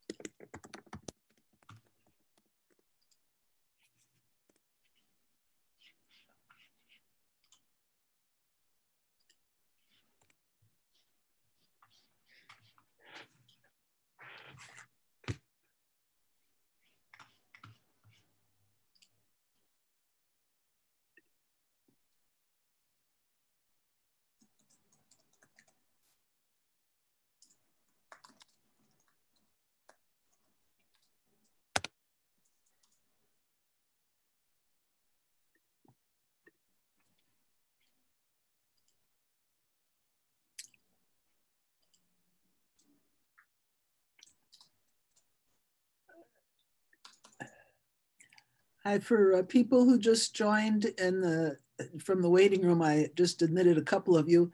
We just finished our morning session and we're taking a half hour lunch break and we will reconvene at 11.30. So we'll see you there. So go grab a bite of lunch and have your biology break and we'll look forward to hearing from, um, uh, from Ashley Williams and La'Tonya Troutman uh, at 11.30.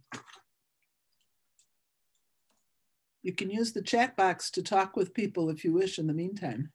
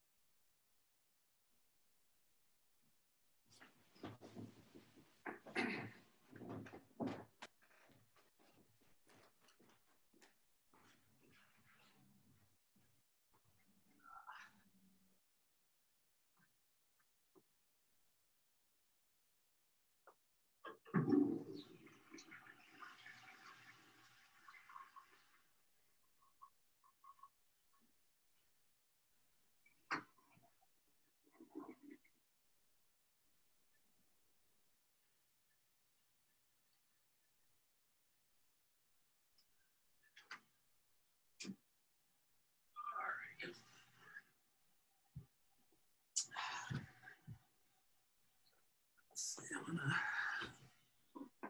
All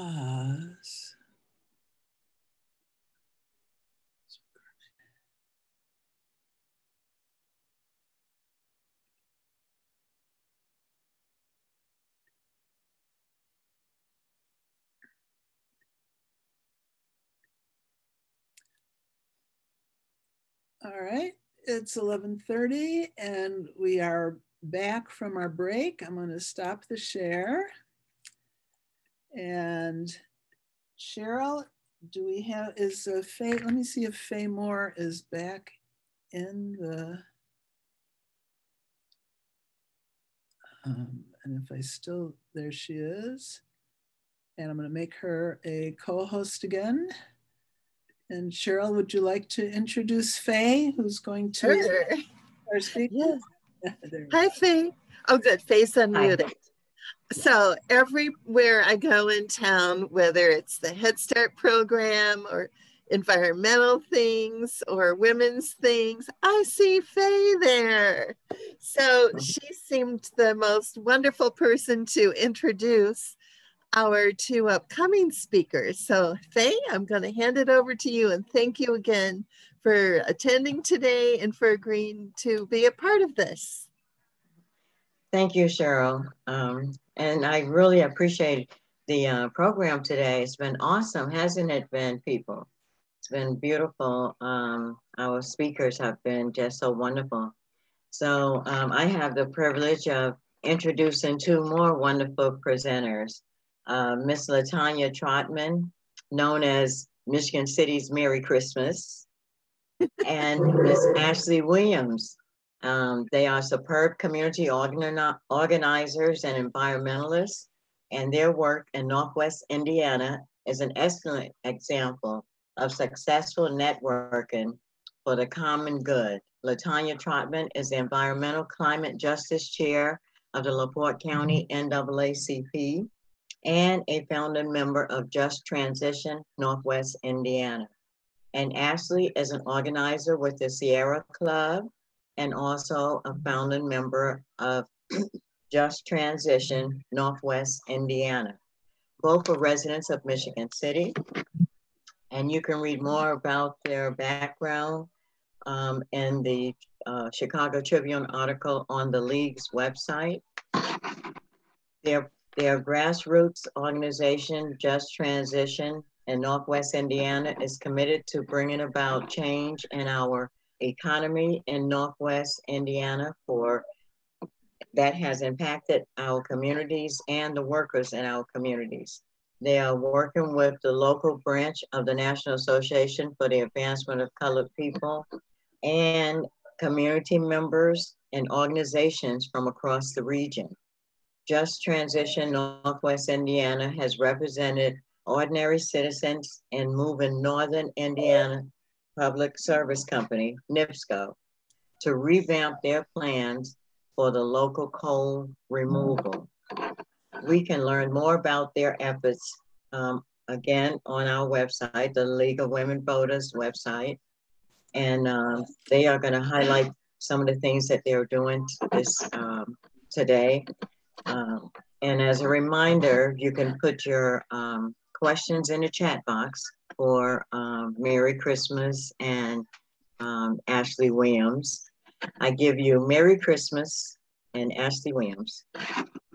Thank you, Faye. You're welcome. Merry Christmas, everybody. Thank you so much, Faye. Thank you um, to the women of the League of Women Voters for having us today. This has been an awesome, awesome conference, and um, we really appreciate the invite and um, are glad to be here. So, as Faye just said, um, everyone knows me as Merry Christmas, but my name is La'Tonya Troutman. Um, and I am one of the founding members of Just Transition, NWI, as well as the Environmental Climate Justice Chair for the LaPorte County branch, NAACP. Um, and I am also a um, public relations specialist with my own business um, called Perfect PR. Um, and that is going to be important as you will see throughout our presentation um, when we talk about our skills and talents and things that we bring to the table. Um, and why I got started in, in this work is simply because um, Michigan City is good ground. Uh, unfortunately, um, sometimes when we leave it abandoned, um, we don't get the good fruit from it. And so, because we're here, we're on good ground, and I am um, a good person on this good ground, I would like to see some change come into our communities because there are um, approximately 31,000 people in Michigan City who also are on good ground um, and can do good things. And we want to see that um, take place in a resilient community of Michigan City. So I'm um, tired of the status quo. I am here for um, as an agent of change. And with that being said, I'm going to pass this on to my um, partner in crime. Um, we get in a lot of good trouble together, as plenty of you may know, Ashley Williams.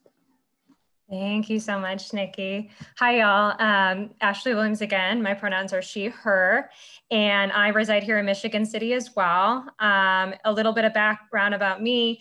I wear my Just Transition NWI hat here in Michigan City. So I'm, I am a member and co-founder as was discussed. And, um, and I'm also an organizer within Sierra Club within the Beyond Coal to Clean Energy campaign. And so I'm predominantly organized in Greater Lafayette. I'm not sure if Liz Solberg is on the call, but she is part of our team. Shout out to Liz. Um, we love her and uh, we're doing a lot of great work there uh, actually around uh, Duke Energy and trying to transition them. Um, a little bit of background about me. Um, I'm actually a transplant. I'm not originally from Michigan City. Uh, I'm originally from Ottawa, Illinois. Uh, so lived in Illinois all my life up until moving to Chicago where I pursued my education and really cut my teeth, um, what we call in the organizing world um, on the Southeast side uh, where I organized with an amazing coalition called the Southeast uh, Side Coalition to Ban Pet Coke. And um, they're on Facebook. Please look them up and support them. Uh, we organized against the injustice of petroleum coke there um, and found myself here in Michigan City through Sierra Club. And really, you know, what it comes down to is I believe that our communities should not be treated as sacrifice zones, right? They shouldn't be sacrificed for heavy um, industrial polluters, um, that our communities should be able to be made whole again, right? And so that's really what we're gonna be talking about here. So I'm, you know, really in this work because I believe we should come together around that, right? And stopping sacrifice zones um, and really pursuing our collective liberation, right? From these industries that are really holding us hostage, industries like NIPSCO that we will talk about in depth here in a second, um, and so on. But that's a little bit about me. And um, just for an overview of what we'll be discussing, I'm gonna go more into uh, a general overview about just transition and what we mean when we talk about that, right? What does it look like in terms of the roots and those origins and how has it been used over time? Then we'll go a little bit more into who we are as Just Transition NWI or Northwest Indiana. And Nikki will unpack that a little bit more. And then we'll talk a little bit more specifically about what our work has been uh, around the coal ash uh, here in, in Michigan City, as Indra talked about so eloquently earlier, and then giving y'all some opportunities for how you can engage with us in the future. Um, with that, I'm gonna go to the next slide. And this is really important to keep in mind as we continue through this presentation. And I'm just gonna leave you with this. Transition is inevitable, justice is not. So bear this in mind as we continue on with the presentation. so when we're thinking presently about our economy, our economy is predominantly a dig, burn, dump economy, right? So one that's predicated on the mass accumulation of wealth, where the rich get richer and the poor get poorer right? So this is an injustice, right? There is mass inequity within our system, right? Our very racist, designed to fail system that, that we live in today, uh, right? This is done through the exploitation of human labor, right? And this is, you know, really we see this in different facets, whether it be our military industrial complex, through our governance and the administration that we're currently in right now, right? Um, and thinking about within the energy sector that we'll be talking about in length, we see, right, these systems of racism and exploitation. And, right, this is the economy that we don't want to live in, right? We really want to think about what we can do to reimagine, right, and organize for a just system, right, and really flipping this on its head. Um, and so unfortunately, right, within this extractive economy, our communities have been sacrificed uh, by the fossil fuel industry, by coal plants. And so when we talk about just transition, this isn't specifically just about our energy sector, right? It's really talking about holistically, how do we really change, frankly, the whole thing, right? And as I mentioned in the beginning, making our communities and workers whole, right? So really keeping that in mind. So what we talk about is sort of, right, stopping the bad, right, stopping the injustice and building the new. And that is everything to do with a, a, just transition, right? So a just transition means that we must transition from an extractive economy, right, that you see here on the left-hand side, to one that is rooted in regeneration and resilience. So this means, as I mentioned, not just through energy, but also through other uh, facets of production, right? So it, whether it be housing or transit, labor relations, uh, governance, just to make name a few. So thinking about through our resources rather than depleting that, we're replenishing them, right? we're keeping the oil, we're keeping it in the ground, we're keeping these resources and really again, pulling from, right, our sun and our wind and, and all these different forces, right, that are renewable and replenishable and that we'll have for generations to come.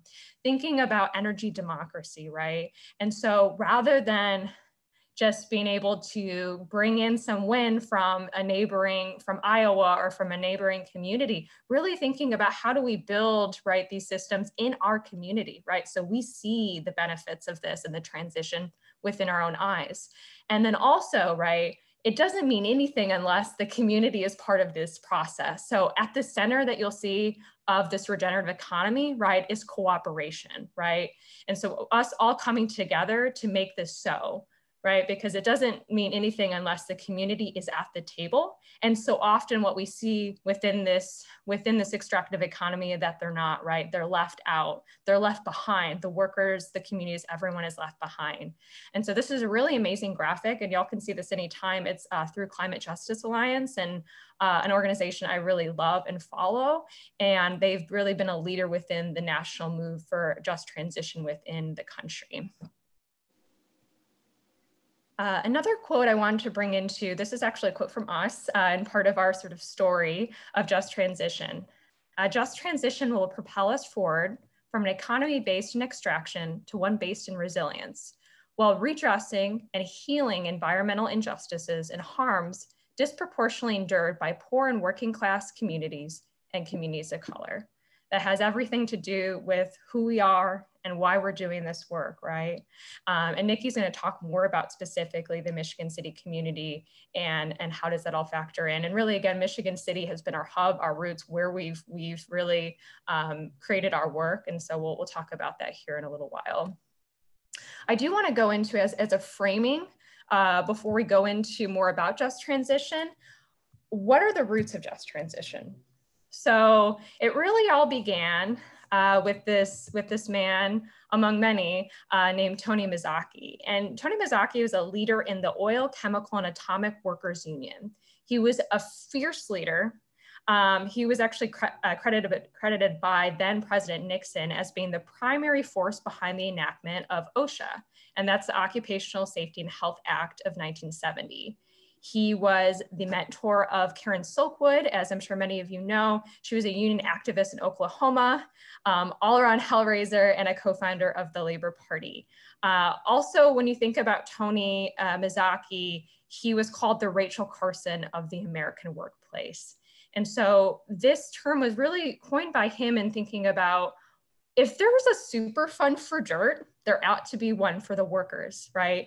And so it when you talk about just transition, the origins, people think about uh, this phrase and also the fact that there, you know, there should be this sort of um, GI Bill, right, for for the workers, if you will, right, within within this transition process. And so that's really a, a quote that's highly regarded and quoted um, all over. Um, and so it, it makes perfect sense, right? But you know, there just there wasn't there really wasn't until uh, Tony and other labor unions really started to uh, coin this and craft this and operationalize it. So as was mentioned, um, this really started to take off in the 1990s, but it has developed a much deeper meaning, right? So as, as an old white guy, um, Tony Tony really spoke for for the laborers and the workers within right the halls of these extractive industries.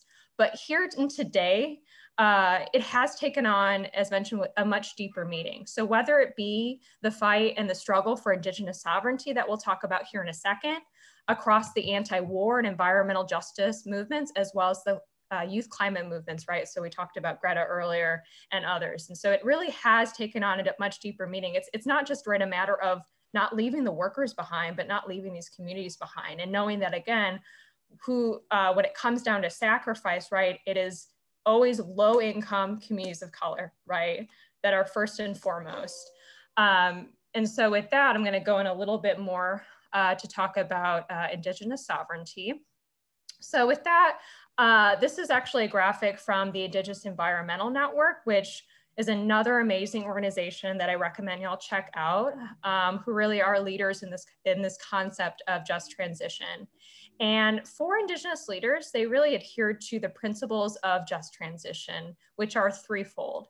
Responsibility and relationship, so transformation of our relationship with Mother Earth, as you see really clearly illustrated right here. Secondly, I talked about sovereignty. So thinking about, right, we're just on the heels of Indigenous Peoples Day, right? Uh, thinking about land back, right? And reclaiming what was stolen, right? Through the raping and pillaging and genocide of the Indigenous people and the earth.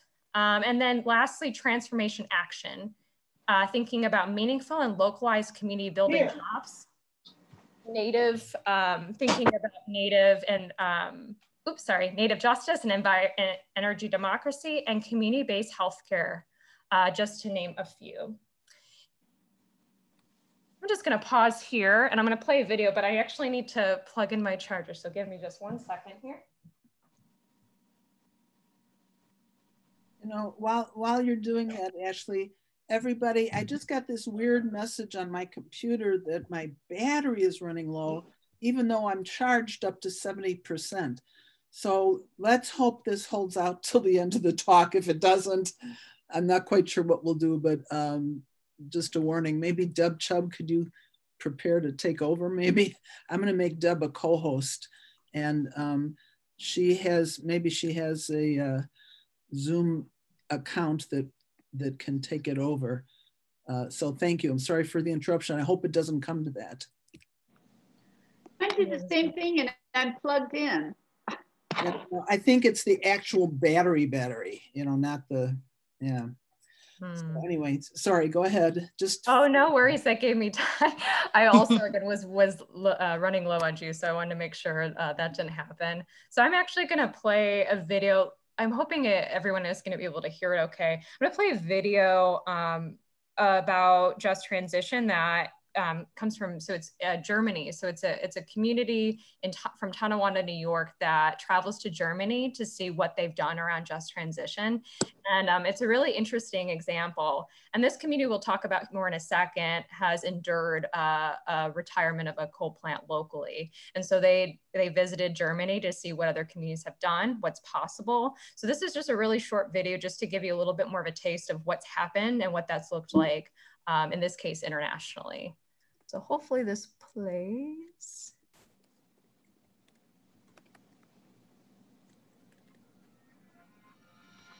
We are visiting right now a redevelopment of one of the largest coal mines in uh, the western part of Germany.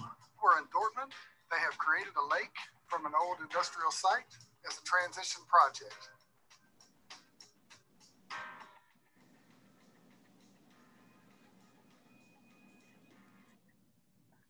Oh, I'm sorry, y'all.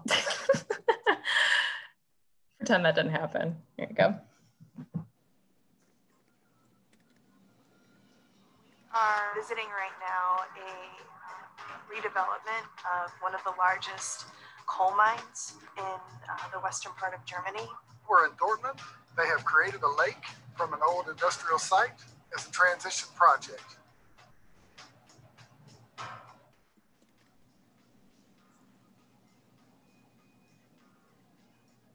Germany and the United States, coal still plays an important role as an energy source.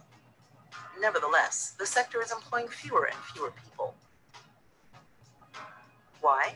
Mining coal releases heavy metals, which is harmful for people and the environment. Burning coal also produces huge amounts of greenhouse gases that speed climate change. Coal plants are also shutting down because of market factors that give an edge to more profitable energy sources like natural gas and renewables. Even though many people in Kentucky don't necessarily agree on things like climate change, the world is moving in a certain direction. We have to respond to that in a way that doesn't leave the people behind that are most directly affected. Coal helped power the Industrial Revolution and the transformation of our economies. This heritage is a source of pride for many communities, and the transition away from coal is no easy task. We've heard from people here that there is life after coal. These are people who are very, very proud of their coal heritage, which is very similar uh, to what we see back home Central Appalachia. Some former coal regions have already started to reinvent themselves. In Essen, Germany, an old mine was transformed into a UNESCO World Heritage Site. In neighboring Dortmund, a former steel plant site was converted into a nanotechnology hub and recreation area. A family owned company in Bochum went from producing gearboxes for mines to producing gearboxes for wind turbines. Throughout Germany and the rest of the European Union, jobs in renewables already outnumber those in coal the thing that struck me most is that the amount of investment that the German government, variety of ways, has put into these communities. They're using their heritage and their history as an asset to uh, build culture in a place so that they can remember where they've come from, but also look forward to building the community that they want to see in the future. In a challenging situation where we're facing real risk, um, we can do two things. We can decide not to fight it, decide not to come together. We can decide not to accept and adapt, or we can we can work on it, you know, jointly. And and I see a just transition is the way to do just that. These cities have shown that life after coal is possible. With this just transition, we can create good jobs and a sustainable future for our communities.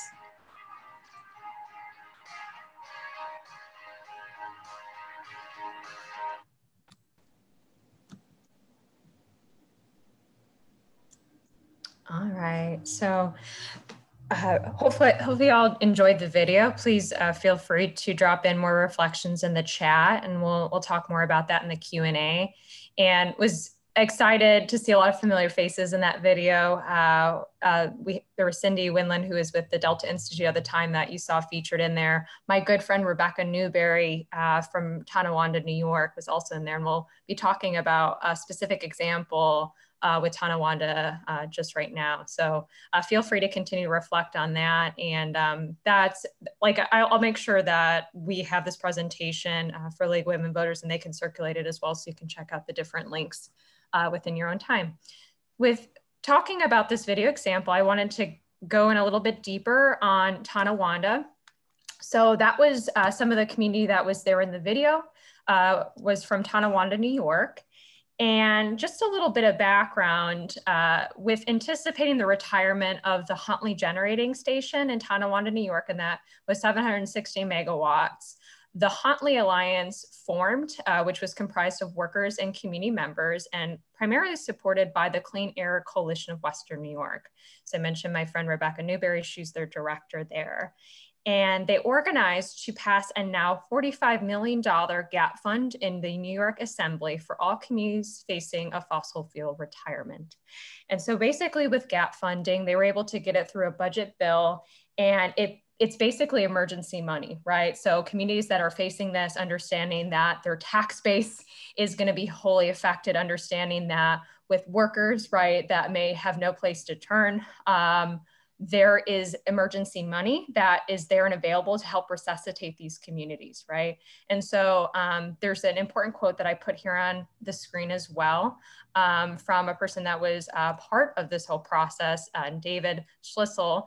And he mentions uh, instead of spending millions on propping up coal plants, right, which we do very well in the state of Indiana, um, we need to spend money to help communities make an economic transition, right? And so that's everything uh, that has to do with just transition. And so with the Huntley Alliance, really when we're thinking about kind of the time horizon, they formed in 2013. Uh, and this was before they officially got the coal plant retirement. So they were anticipating this announcement. As, as I mentioned in the beginning, right, think about, right, transition is inevitable, justice is not, right? We know these coal plants and these, these gas plants are gonna be retiring. It's just a matter of when and whether or not the community and workers and all those impacted are going to be at the table at the forefront of this process. So they formed uh, through a number of different unions. Uh, they had the teachers union, the steel workers, the IBEW or the International Electrical uh, Brotherhood of Electrical Workers, as well as the Co uh, Clean Air Coalition, as I mentioned before. The Sierra Club is also a part of it. And they began to have many meetings in 2013 and really began to build out a robust campaign around this. So, talking about what are their demands, right? And so they came to the table and talking about we want to maintain fair funding for our schools. We want to create good paying jobs with benefits and protections for uh, workers as well as ratepayers. We know typically when these coal plants are coming offline, we do incur the cost. So whether it be the coal ash cleanup uh, that we'll talk about more later on, uh, whether it be um, the change in generation, we as ratepayers tend to incur those costs. Um, and then thinking about within the organizing campaign, they also talked about how they could better reconnect with the waterfront, right? Sounds familiar like here in Michigan City, understanding where the placement of the Michigan City generating station is right there on our Lake Michigan lakefront. And then building and sustaining a new tax base, right? Understanding this plan is coming offline. What is that new tax base going to be? Many of these communities that have the coal plants are mono economies, right? So they're wholly dependent on these fossil fuel facilities, right? What happens, right, when they come offline? Um, that's very important to be thinking about. The plant retired in 2016 and they went through a whole different visioning, they went through a whole visioning session in anticipation after this plant retirement, uh, really being able to figure out what does that look like to carry forth these demands. So they went and, and um, collaborated with the Delta Institute um, Just Transition Fund with these listening and visioning sessions, um, talking about right the, uh, how we can um, offset the tax base loss and all these different things. And right now, um, there's still uh, there's still a process that's in place for the plan itself. Uh, the Clean Air Task Force has actually changed gears um, through this process, and actually, and something I would like to talk about, um, and, and being able to stand up for Tesla workers. So there's a gigafactory there. Um, it's actually in Buffalo, New York. And Tesla workers are being um, exposed to inhumane treatment. Um, it's been very, very bad there. Uh, lots of reports of discrimination and racism in the workplace. And so uh, this group is actually working with them to unionize and fight these unfair conditions. So um, understanding, right, uh, when we talk about renewables, right, Tesla is there, you know, held up um, on this sort of, right, um, high altar. But Tesla, there's a lot of things that happen within the workplace, a lot of grotesque conditions. Um, we also know with the mining of rare earth minerals um, that go into this process. So we have to really think about, again, holistically. Uh, we're not just talking about renewables as the solutions, it has to be done with justice at every end, right? So just a little bit of a spotlight there. And then um, talking about another example of just transition is important to talk about the Colorado Just Transition Act. So this was passed the other year. And um, this really created a blueprint for Colorado. So it's total, it's called the Just Transition from Coal-Based Electrical Energy Economy um, Act, and that's 1314, House Bill 1414. It was signed into law on May 28th of 2019, and it serves as the first state to think about just transition on a statewide basis. Uh, and the state itself is, is committed to trying to go fossil fuel free by 2040. Um, and so that's something that they've laid out. Uh, we, through our, our organizing work, have actually had conversations with um, the director, Wade Buchanan, of uh, the Colorado Just Transition Office that was created through this act and um, talk to him about kind of the origins and how this came about. There are three goals within the act. Uh, they creates benefits for former coal workers, um, including education and training leading to high quality jobs, strategizing to assist communities dealing with the closure of mines, coal plants, and other factors, and then finding and creating grant and other funding opportunities to, to assist. so this was done through bipartisan legislation. Um, the transition itself is more narrowly defined. It's really thinking about, again, accepting that inevitability of the coal plants and the mines coming offline and really focusing on what is that, that new economy, that diverse, uh, resilient economy. It was largely backed by labor, which was important, and um, they they pushed for many things, including uh, wage differentials within this. And the difference, right, between uh, us and Colorado are, are, are, many and too many to, to say here, but um, they have really, again, accepted uh, the transition um, and decommissioning of these plants is that inevitability. And Indiana is not to that point yet, as we know. Um, we're kind of at this last stand with, with coal here. Um, and so that's something that we're not, what we're talking about, and we'll be talking about um, with Nikki's part of the presentation about what we're trying to do to change that and change the narrative. Um, and so this is this is something I, I definitely and, um, encourage folks to check take a look at. It's a really important act. I think it's a it's a it's a great blueprint of what is happening around this but also thinking about uh, more holistically. So the Just Transition Act doesn't specifically talk about necessarily um, gas plants or other fossil fuel infrastructure. I think that's also really important. Um, and, and thinking about uh, how through this Just Transition Act, they're making these recommendations really happen. Um, so they're still in the phases of that, and they're um, anticipating delivering recommendations on this to the governor uh, December of this year. Uh, and just a few more slides before we pass it on to Nikki. Um, in terms of why, so given all that I, I just talked about, why why just transition why northwest indiana right and so just take a look this is a snapshot of all these different i mean just a few articles uh, that have come out in the the past few years around um, these these different facilities within northwest indiana and just not not just nipsco but others as you can see at a glance, it is astounding, right? What has happened? This is not just environmental pollution, but also the mass layoffs, um, all these different things, the, the potential for gentrification uh, within, within Michigan City. So at a glance, right, it is astounding the necessity for why we need to talk about a transition that is just and equitable, right? So we have in 2019, right, 3,000 fish were killed um, because of ArcelorMittal and their negligence, right, on along our shores. Uh, they actually were recently acquired by Cleveland Cliffs, uh, just as an FYI, but they violated the clean air water, their clean air water permit uh, more than 100 times in the past few years. Just, just like let that sink in. Um, and they've been caught manipulating data, right? Um, they, they've also, as you can see within this, there's been mass layoffs uh, that have happened at Arcelor. Um, there's no assurances in terms of, of, what that means for the workers within inside, you know, inside the facilities uh, within Indiana Harbor. And so those are things that we need to be talking about here. Um, in terms of US Steel, there was the huge hexavalent chromium spills, right, that we, we heard about as well. Um, that was really, we, we saw this happening in 2019. I mean, five plus times and more, even more than we don't know, um, that they discharged hexavalent chromium. And again, this is a carcinogen that was made infamous by Erin Brockovich, right, in her in her fight against PG&E, as I'm sure many of you recall. Uh, there's the BP Whiting facility, right? This is a colossal facility that is the size of the Chicago Loop. Um, they've been routinely negligent as well. Um, all kinds of things um, that have come out of there is, is, you know, and so we really have, again, these, these huge mega corporations within, within our region, unrivaled, right, from really any other areas, maybe outside of Houston. So there is a lot at stake for our region. Um, and understanding, again, right, transition is inevitable, justice is not. So we really have to get um, ahead of this and at the forefront. Um, as I mentioned too, there's a big concern around gentrification and what is going to happen in Michigan City. Uh, this article is very troubling where it says, will Michigan City become the next New Buffalo?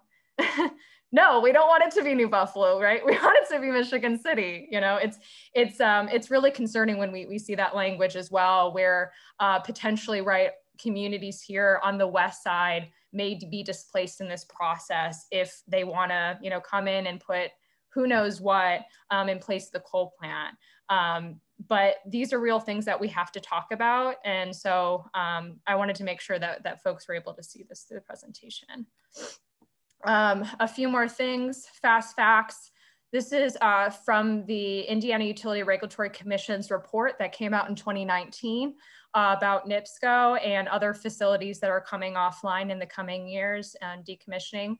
Uh, over the next decade, decade uh, 7,730 megawatts of coal are due to be retired, bringing the total of to 11,444 megawatts since uh, 2010. Our utility NIPSCO contributes to approximately one fourth of these retirements. So that's, I mean, that's a that's a huge that's a huge total. Um, NIPSCO is is making up a very large quantity of that.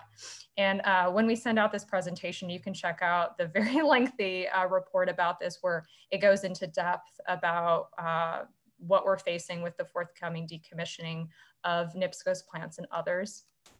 Another fast fact is regarding uh, local losses as well as with jobs. Uh, 300 jobs are at risk due to the scheduled retirement of the Schahfer plant, and that's in Jasper County and Wheatfield in 2023. 120 jobs estimated are at risk in Michigan City due to the forthcoming retirement in 2028. Uh, 7.5 million in annual state and local losses are expected as a result of the Schahfer retirement and 3.6 million for Michigan City. Uh, this is also from that report um, in terms of the impacts of what the decommissionings will have on our Michigan City as well as the Wheatfield communities. Uh, with that, I'm going to conclude the overview section of the presentation. And I'm going to pass it along to Nikki, aka Merry Christmas, to talk more specifically about what we've been able to do to address just transition here in Northwest Indiana. Thank you so much, Ashley. Merry Christmas again, everybody. Um, if you are on the line right now and you are in this picture or know someone in this picture, I want you to say, I am creating a just transition in NWI. If you are in this picture right now, if you are not and you would like to be in the next picture, say, I want to help create a just transition in NWI in the chat right now. Um, and I don't see the chat moving, so I won't be moving until you guys follow suit because I like engagement because engagement, as we will see, is what creates change um, within this movement. Being a part of the process at the, the grassroots level, the people power, and using your voices is how we're going to create change. Um, just sitting by idly will keep things the same as we've seen for decades um, with Ashley's presentation, as well as with Dr. Indra's presentation, and kind of throughout the day, you know, we've seen things stay the same. So um, we know I, I, know that the League of Women Voters are women who want to create change. So, as agents of change, I want to see this chat just chiming on with Merry Christmases and people who want to be a part of this here um, movement and creating a just transition. So, with that being said, this group of lovely people that just passed in the previous slide um, is um, a part of our grassroots organization um, within the Northwest Indiana region that is comprised of partners, organizations, and um, including the PDA, Progressive Democrats of America, the NAACP, as well as Green Drinks. Shout out to Nancy, who's um, here today, um, and other individual members as, as well as partnering organizations. Um, together, we create Just Transition NWI, where our vision is an empowered NWI, where people live in clean, healthy, and united communities. Um, our mission is to educate and organize Northwest Indiana communities and workers to give voice to their stories and to support a just transition to a regenerative economy that protects our environment, climate, and our future generations. Um, our values include inclusivity, solidarity, and justice for all. Um, when you talk about being inclusive, a lot of times um, people think if you know you have a group that everybody's included. Well, it's not just enough to have a group, but it's important to have a diverse group. And then that is um, interconnected. That brings about that solidarity. So it's not just one set of stakeholders, one set of stakeholders, but everybody who is impacted. That is very, very important, especially when you see um, injustices such as the environmental injustice that we've heard so much about um, through Ashley's presentation and the, the presentations before us. Um, so next slide, Ashley. Um, we also, um, within our group, um, we do have goals. Um, and so some of our goals just really quickly are within our short-term goals, we wanna be able to urge NIPSCO and IDEM to implement a safe closure of the Michigan City coal ash ponds and the ponds, other ponds in the Northwest Indiana region, including the Bailly and Schahfer ones. Um, over time, we want to be able to launch a public participation process for the Michigan City area and ensure that the city acquires the um, site and ownership of the property is transferred to the public. Um, and in the very long term run, we want to be able to bring NIPSCO as a utility under public ownership. In order to do that, um, again, we need people power. So just using this quote from Gene Sharp, who is a political scientist who coined the theory of power, um, he stated that power ultimately rests not in the grip of presidents, generals, and billionaires, but in the hands of millions of ordinary people who keep society running smoothly on a day to day basis and who can shut it down should they choose. And based on what I saw in the chat, either you have already chosen or you just made the decision to be a part of those ordinary people who can, you know, overthrow things that just aren't working for us anymore. And we know that, as, as Ashley pointed out, that the extractive economy that we've been living in no longer works for us. And so we want to be able to change and, and move forward to a new. Um, so with that, we, um, we understand that people believe that this is a, um, you know, a top down sort of thing, but we believe truly in bottom up you know, organizing to make things happen. And so if you look here, you will see some of our organizing timeline. Um, and we used our bottom up strategy to create um, several successes along the way. So um, during, you know, the fall of 2017 um, into 2018, we kind of got our start as Beyond Coal. The Beyond Coal campaign um, launches in 2017 and forms a collaboration with the NAACP um, based on some of the information that you will see later.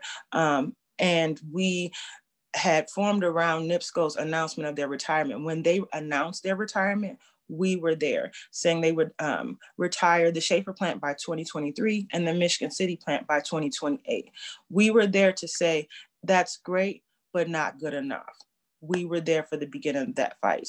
Um, and we they wanted to do this as a part of their 20 year plan. We know that they can do better, and we want to make sure that when they if when and if they announce to do at a sooner time that we are prepared as a community as a people as workers and as the environment um, and then in going into um, 2019 from that stemming from that we organized around the um, industrial cost shift that NIPSCO was proposing onto its um, customers like us, you know, that was come from giving their um, industrial customers a, a, big cost break um, by 19%. Well, we were able to drop that significantly because we were there with our grassroots organization, organizing and being able to engage the community and being able to bring people out in numbers. That gave us a great victory to be able to cut that cost shift um, at least by half.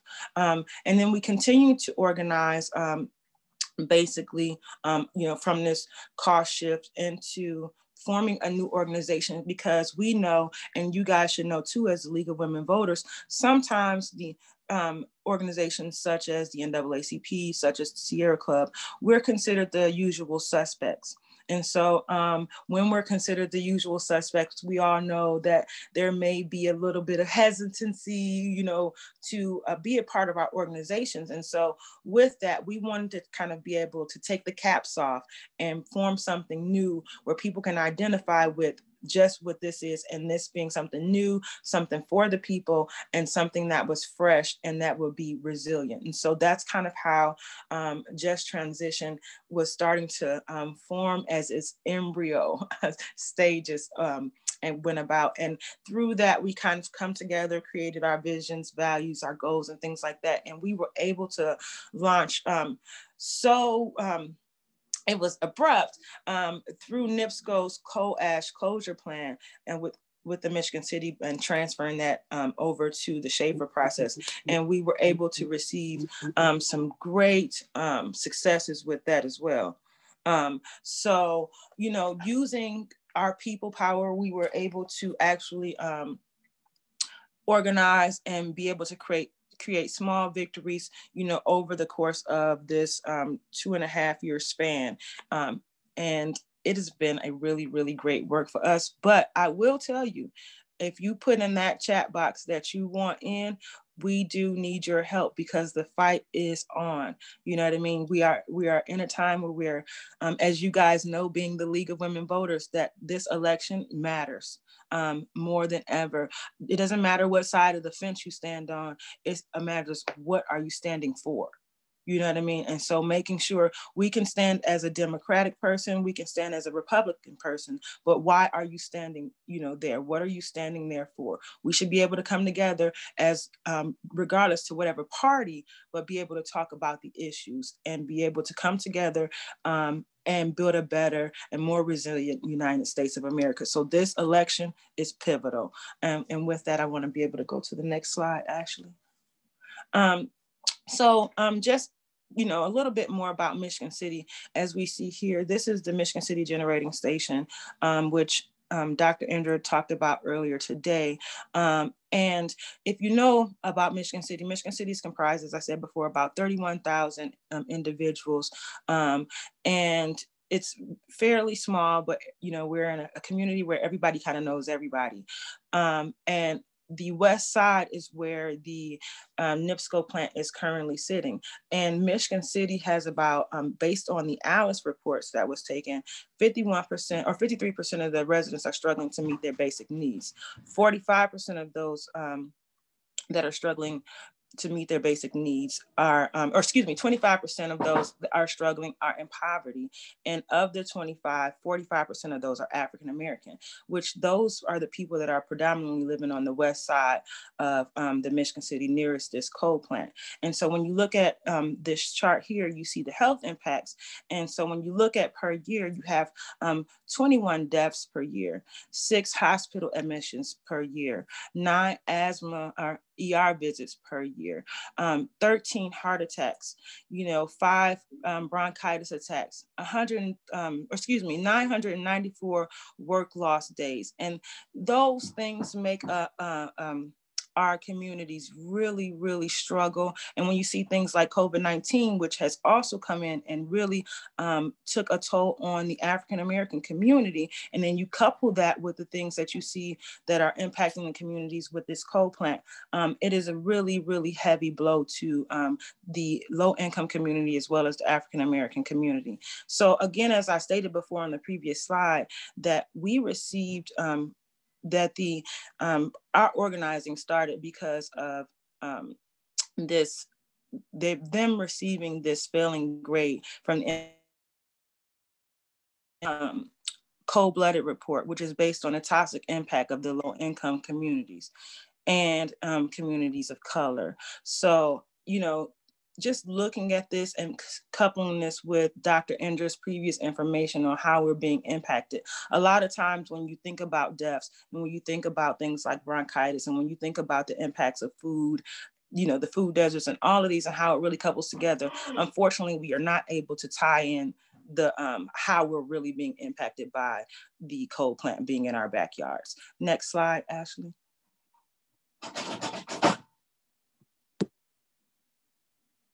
Okay, and so then when um, when we are talking about Jasper County, now Jasper County is also a smaller um, county, and but it's comprised of low income community of you know predominantly white. However, uh oh. Um, it is still a low income community and they were hit very very hard. We actually did some organizing and some work with them and you know hit by cancer. Their drinking water like um, issues that we've seen with our neighbors in the town of pines. Um, and if you look at the health impacts that they have um, 23 deaths per year. Um, so they're a little higher rate being that they have um, a little they're a little closer to um, their coal plants. Um, and it is unfortunate how they, and they have, I believe they have two or they had two, if I'm not mistaken, Ashley, was that correct? Two or three? the coal plants? The coal plants? Yes. Yeah, just one, Schahfer.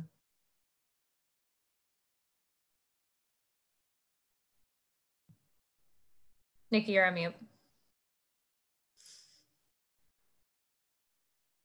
Okay, so um, just looking at that again, you see, um, again, the number of heart attacks, the number of hospital uh, admissions, and when you think about the health risk and you think about how the communities are already struggling to meet their basic needs, it is definitely um, a problem with having these coal plants within the um, within these communities and what we need to do about them.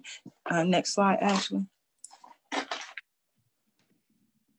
Okay, and so understanding, as I said before, that um, we really are a, diver a diverse group of people, we wanted to be able to not only include the workers, not only include the communities in, impacted, but include the people who um, comprise our future generations, which is these children here. Um, and if you see, um, these are some of our children from the Gary Steel Mill Academy, um, but the picture in the background is actually an Ecopolis that was created by um, all of the impacted communities within the Northwest Indiana region.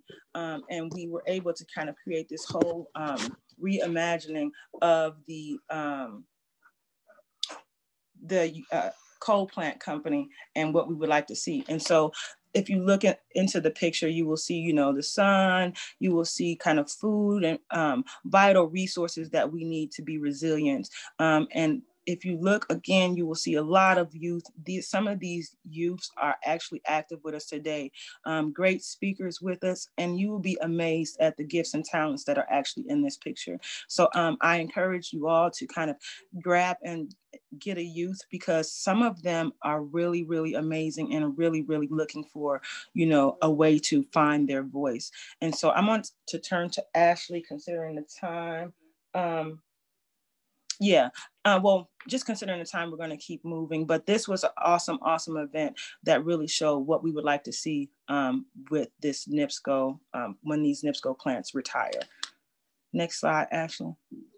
Um, here again is just a, a, few more of our successes highlighting, again, really um, important that we have youth engagement. You also see here where we did um, our rally on the west side of Michigan City down at the bottom there with um, Pat Boyd, who is also on the line. Merry Christmas, Pat. Um, thank you so much for always being um, supportive. Um, but there's also city council members from Hammond and Gary in there. Um, you also see our renewable power rangers who are um, suited and booted and ready to get to it. Um, so they are really awesome. We've fought for a bill such as the House Bill 1470 about the blank check. we've also stood before the IURC to give our testimony on what needs to happen within our communities. I mean, we've just kind of kept the ball rolling and continuously stayed moving. Next slide, Ashley. Um, here, if anybody knows the little guy in the corner right there, the um, his name's Brandon. If you know him, can you tell me um, who he is or who he belongs to? Does anybody know him? Um, if you know, drop that in the chat.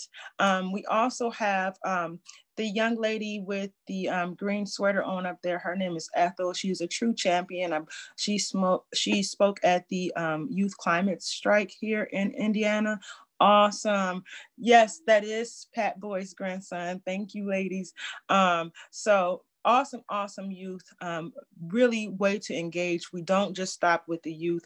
We like to see a full diverse. We want African American, Hispanics, um, kids, elderly, everybody, anybody who's impacted or has a stake. So um, next slide, Ashley.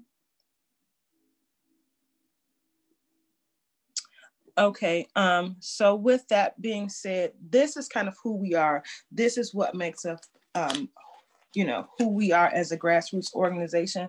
And what we do is get engaged we stay engaged. We make sure that as you saw with um, ashley's part that we kind of are educating and then we are engaging because then we can bring about action. So with that i'm going to turn this portion over to ashley.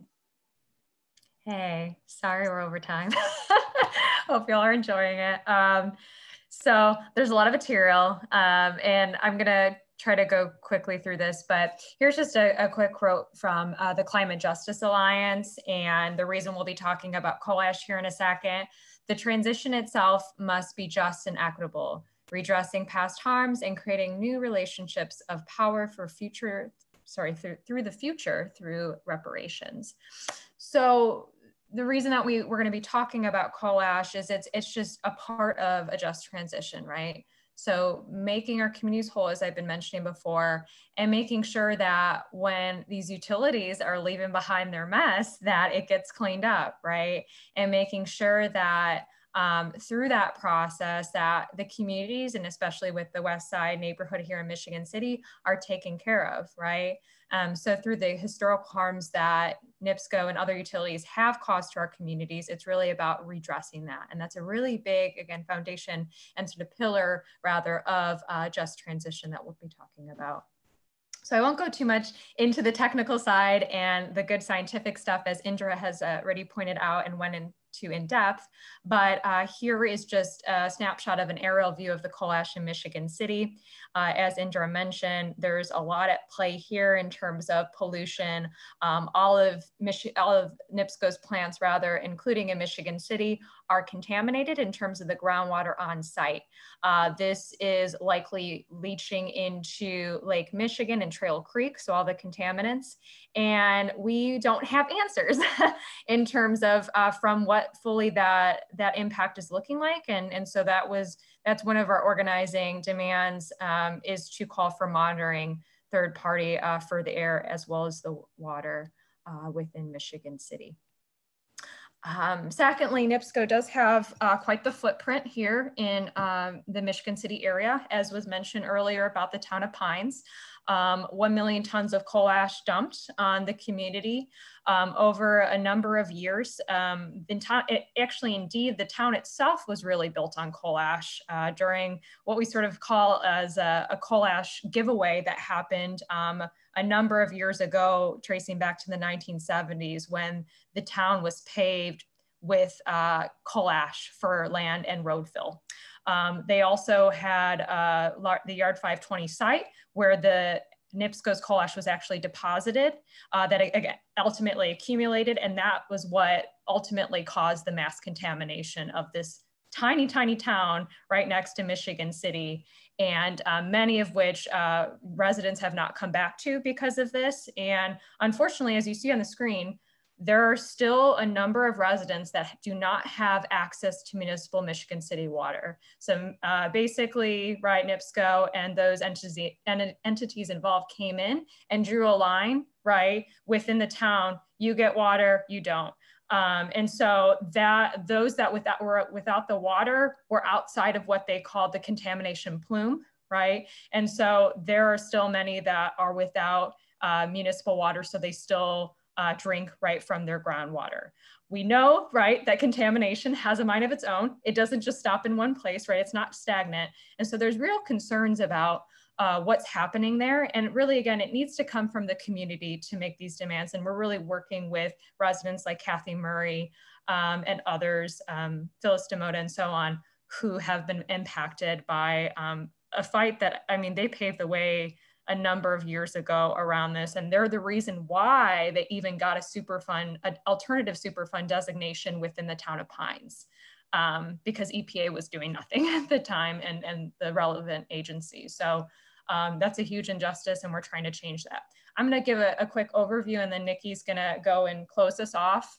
Um, this at a, at a glance is why organizing works. And we're gonna be talking kind of about two main things. We did a, a big uh, petition delivery of 30, uh, sorry, 3,000 signatures on our change.org petition that we were able to deliver um, to IDEM as well as with NIPSCO. And through that, we got a big delay um, in the excavation, which we really called for that during the COVID-19 pandemic, understanding that people are especially vulnerable, right, um, with compromised immunity, understanding what the impacts of having um, additional pollution on top of this pandemic that is still very much uh, raging will have, right, on our communities. And then um, secondly, we also did a screening of in the water. And uh, I don't know if we're gonna, we're not gonna have time to play it, but we will definitely encourage for folks to check it out. Um, it's a film by Beth Edwards of the Indiana Environmental Reporter. And we had a big event the other day. So shout out for folks who were in attendance and got to watch the film with us and the Q&A panel. Uh, I think it was a really huge success uh, with everyone that was in attendance and raising awareness about what uh, the legacy of coal ash has been in Indiana and our communities, including um, what it focused on with Town of Pine. So this is organizing works. Uh, we're seeing movement. And um, I'm gonna pass it over to Nikki to talk a little bit about leadership and uh, what we're doing now. Okay, and you guys know I like to be um, interactive. So I want you to tell me your name in the chat box and then say, and what are you good at? So my name is Merry Christmas and I am good at PR. So public relations. I want you to tell me I am the next person I see is Rosemary. So I want Rosemary to say, I am Rosemary, Merry Christmas. and I am good at writing or whatever your magical gift is. Um, and while you guys do that and flood that chat, I just want to tell you quickly, and I know we're kind of over time. I thank you guys for kind of staying on with us. Organizing works because you bring you why you uh, the the need that you want or the change that you want and your skill sets to the table so that it can you can be used to create the change so Ashley is an organizer. She's organized with the Sierra Club. She's really great about, um, you know, putting things together and getting all of the pieces together. I am really great about um, assisting with, you know, media outreach, helping to put together the social media. Um, Nancy, who is also here, thank you so much, Nancy, It's really great about um, connecting, um, you know, our political friends as well as, you know, getting some legislation pushed and passed. Thank you, Dalia, who I don't know if she's still on here, but I believe she was, um, who helped to champion and pass some legislation around our Coal Ash Act. Woohoo, Dalia! Um, thank you so very much um, to help us kind of keep our community safe. Um, so, you know, we bring people. Also, Susan, I know who is on there. She is really great, a really fantastic writer. Um, really um, a media mastermind. So she really helps to bring some of her things to the table um, and just being able to, you know, kind of connect one by one by one so that we can all get this thing done. Um, and that is why we saw successes with the um, industrial cost shift um, and we saw successes with the petition that we created that got into um, the championed um, legislation by Dalia, which you know, the ordinance. So thank you guys so much. Um, it really takes more than one person to really make these things happen. It takes you the need for change, wanting the change, and being able to bring your skills, talents, and abilities to the table with others to create that change. It doesn't matter your political position. It matters that you have people power. So with that, I'm gonna go to the next slide, Ashley. Um, we're going to skip through that. Um, and so this, these are the things that you can actually do to support us. Um, just really quickly, we have a um, legislative toolkit um, at tinyurl.com. Ashley, if you can drop that in the chat, these um, three links in the chat and you guys can have them that these um, this presentation will be sent over to you we want you guys to help support us by um, checking out that legislative toolkit supporting us in the legislative um, upcoming legislative sessions, as well as Pat Boyd. Thank you, Pat. Um, and vote, first of all, vote for people who want to see change with how we, um, how Indiana handles coal ash vote for people who want to see change in you know our environmental and, and getting rid of some of the food deserts that some of these communities have. You know vote for people who want to see the change that you really want to have. Um, with that we also have um, our jtn informational session. You can um, join that or register for that at the tinyurl.com forward slash JTN info session. And you can also email us any direct questions if we can't answer them today or if something pops up later at justtransitionNWI at gmail.com. Um, those are for ways that you can support. Next slide, Ashley. Um, the next thing that you can do, and I want everybody to do this right now, go to our Facebook page, go to our Twitter page, go to our Instagram if you have an account on either one. Like us, follow us, say, hey, I'm in for the just transition win. Okay, that's what I want to see. Scrolling down our timelines, you know, I it's great to hear the thank yous, but you know, it's really um, really, really great to see people who want to participate. And another thing that I would like for you guys to do is, um, you know, I also got involved, and I know I told you why, um, but I also got involved because I'm part of the um, you know 50 plus percent of michigan city who are struggling to be meet their basic needs. I have been um, and nancy and pat knows i have been or faced homelessness. I have faced um, and overcome a lot of different things.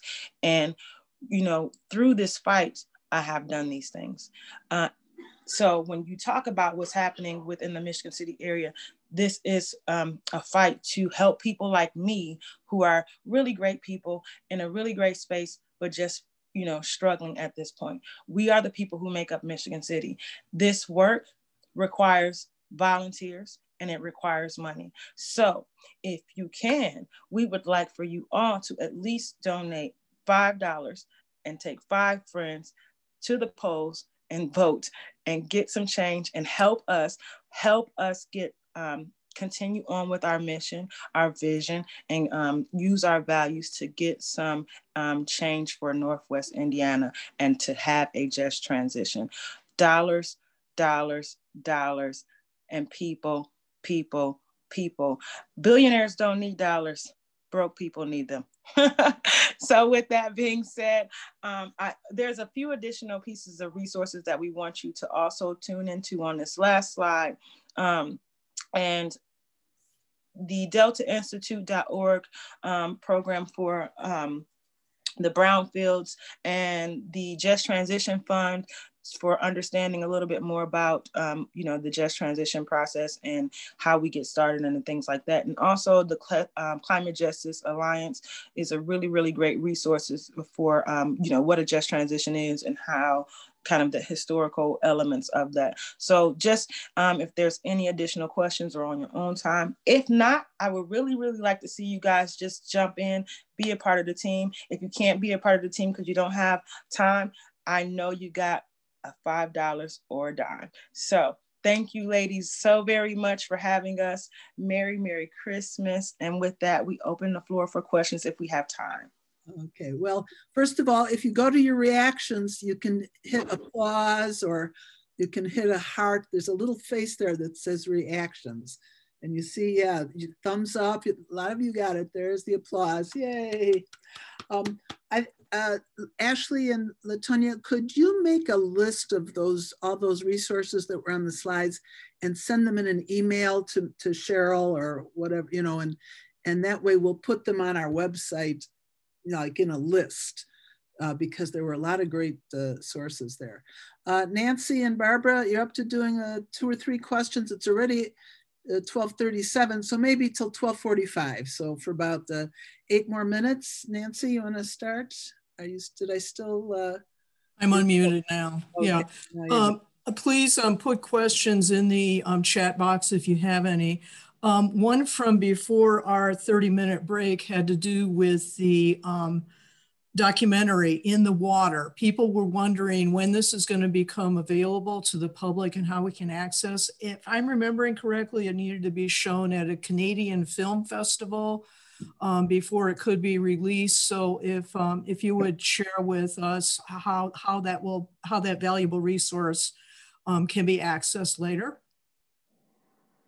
Yeah, we can do that, Nancy. And I, um, I'll ask Beth Edwards to. We have an uh, an internal link, and maybe she would give exclusive access to the League of Women Voters to tune in. So I will ask that. If um, if anything, it's going to be available likely in another month, um, as you mentioned, after it goes through the the circuit of festivals. Thank but you, Ashley. What they can do is keep up with us on social media, and they will know as soon as we know. Very good point. well taken, Nikki. Thank you. Um, any other questions? Well, I would just like to say, I'm so glad to see you both again. I've been following you from Michigan City and um, Highland And La'Tonya, you brought me to tears with your speech. You are so passionate about life. I, I love you both. And um, just to follow up, we um, are working in Hammond on a resilience cohort. LaPorte did it. Now we're working on Lake County. And um, I don't really have any questions. You guys are just so full of knowledge. It's just like, oh my gosh. But um, I'm sure along the way we will. But um, you've given us so many, so many avenues that um, I know we can catch up. And I wasn't in the picture because I had to leave early to take care of my mom, but I was there. I, have, know. I I have two questions here from um, Corinne um, Rakowski. Question number one Was a just transition framework included within the Green New Deal? That's question number one. And question number two is if so, do you think the framework is feasible at the national level as well as at the local level? Ashley, do you want to start? yeah. Hey, Corinne. Corinne's my my good friend um, from Loyola, and it's it's been a, a hot sec since we've been able to connect. So I'm super happy that she's come on to support me and support our work. Um, with the Green New Deal, um, the Green New Deal isn't necessarily there's not the, the problem with I and I, I, I totally endorse the Green New Deal. Um, there's it's still a matter of really operationalizing what the contents um, of the Green New Deal actually entail. And so there's definitely language within the Green New Deal about a just transition. Uh, but in terms of like specifics around it, I know that that's kind of what the Green New Deal lacks. In terms of feasibility for the federal and um, local level, federally, you know, there's been a lot of because of the Trump administration, there's been a lot of rollbacks, right? Uh, largely, including um, the funding towards a just transition. So there's been a, a number of different policy mechanisms that have been gutted uh, under this administration, uh, whether it be um, the Reclamation Act, um, whether it be uh, the Power Act that was enacted under the Obama administration. And so we really need to free up funding for that um, so we can make sure that there is funding available for those communities that it's just not happening. And uh, there is a Black Lung Fund, right, for uh, miners that are impacted um, in the mines every single day. And that's been gutted just immensely. It is a travesty that those miners going to work for decades upon end that have since developed Black lung because of their occupation are not seeing justice, are not being funded to be able to adequately afford you know their health insurance to be able to go in for treatments. And so that's something also that needs to be invested in. Um, you know it's again just transition is just a, a, very big framework but that i mean those are some examples of what needs to happen.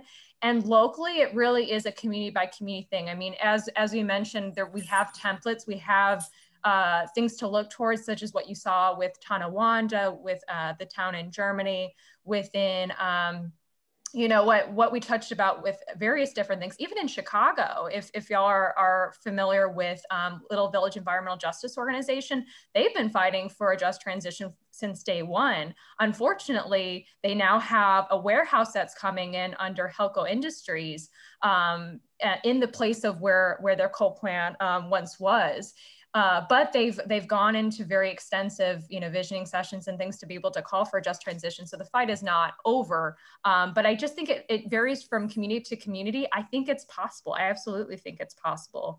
Um, but you know, again, it really just depends. And it, hopefully, we gave some good examples of what that can look like locally. Nikki, Barbara, do you Barbara, do you want to ask the next question? I don't have any more.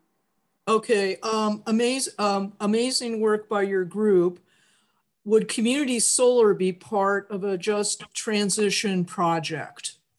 Uh, I, I want to jump on that one.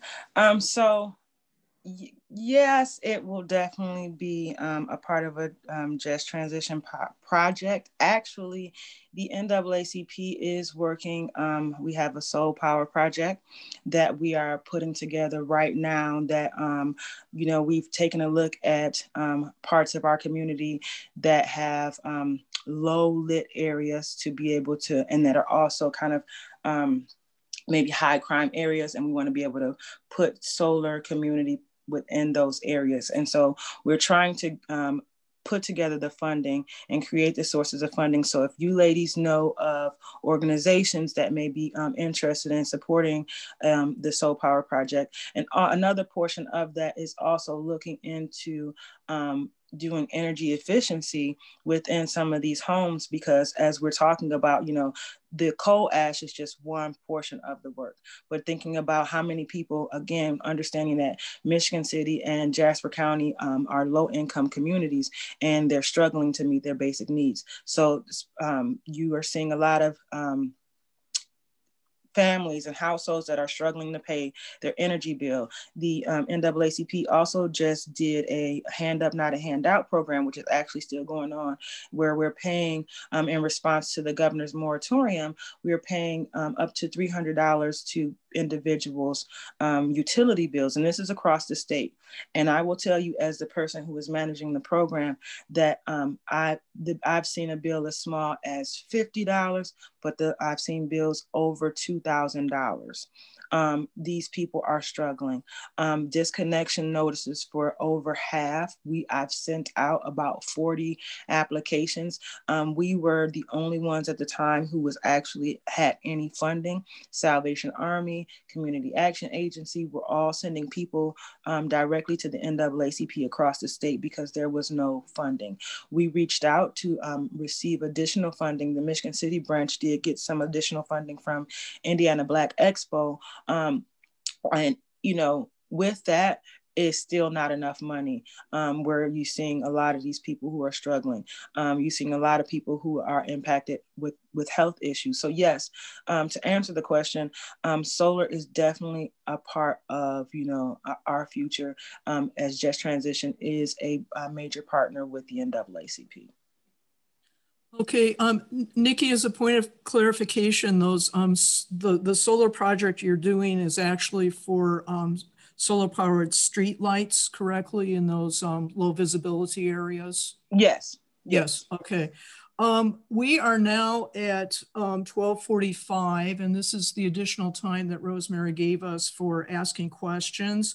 Um, Ashley and Nikki, thank you so very much for your most dynamic and empowering um, presentation. Also, the question came, are you members of the League of Women Voters? And if you're not, as a reciprocal um, gesture, I am willing to help you become members if you would like to join this most awesome group um, and become part of the LaPorte County chapter. Just let me know that and um, and I will make that happen for you. So thank you. Thank you guys so much for having us. I really, really appreciate you guys. Um, you guys are an awesome group. I am not a member yet of the League of Women Voters, but I would definitely love to, um, you know, support, be a part of it. And also, I would like your support in possibly hiring me to do some of your public relations for some of the programs or things or legislation that you want to come to pass. So, Merry Christmas, everybody. Thank you, thank you, thank you. And I'm looking forward to working with you all to bring about that just transition. Terrific. And uh, Krista, any parting words from our president?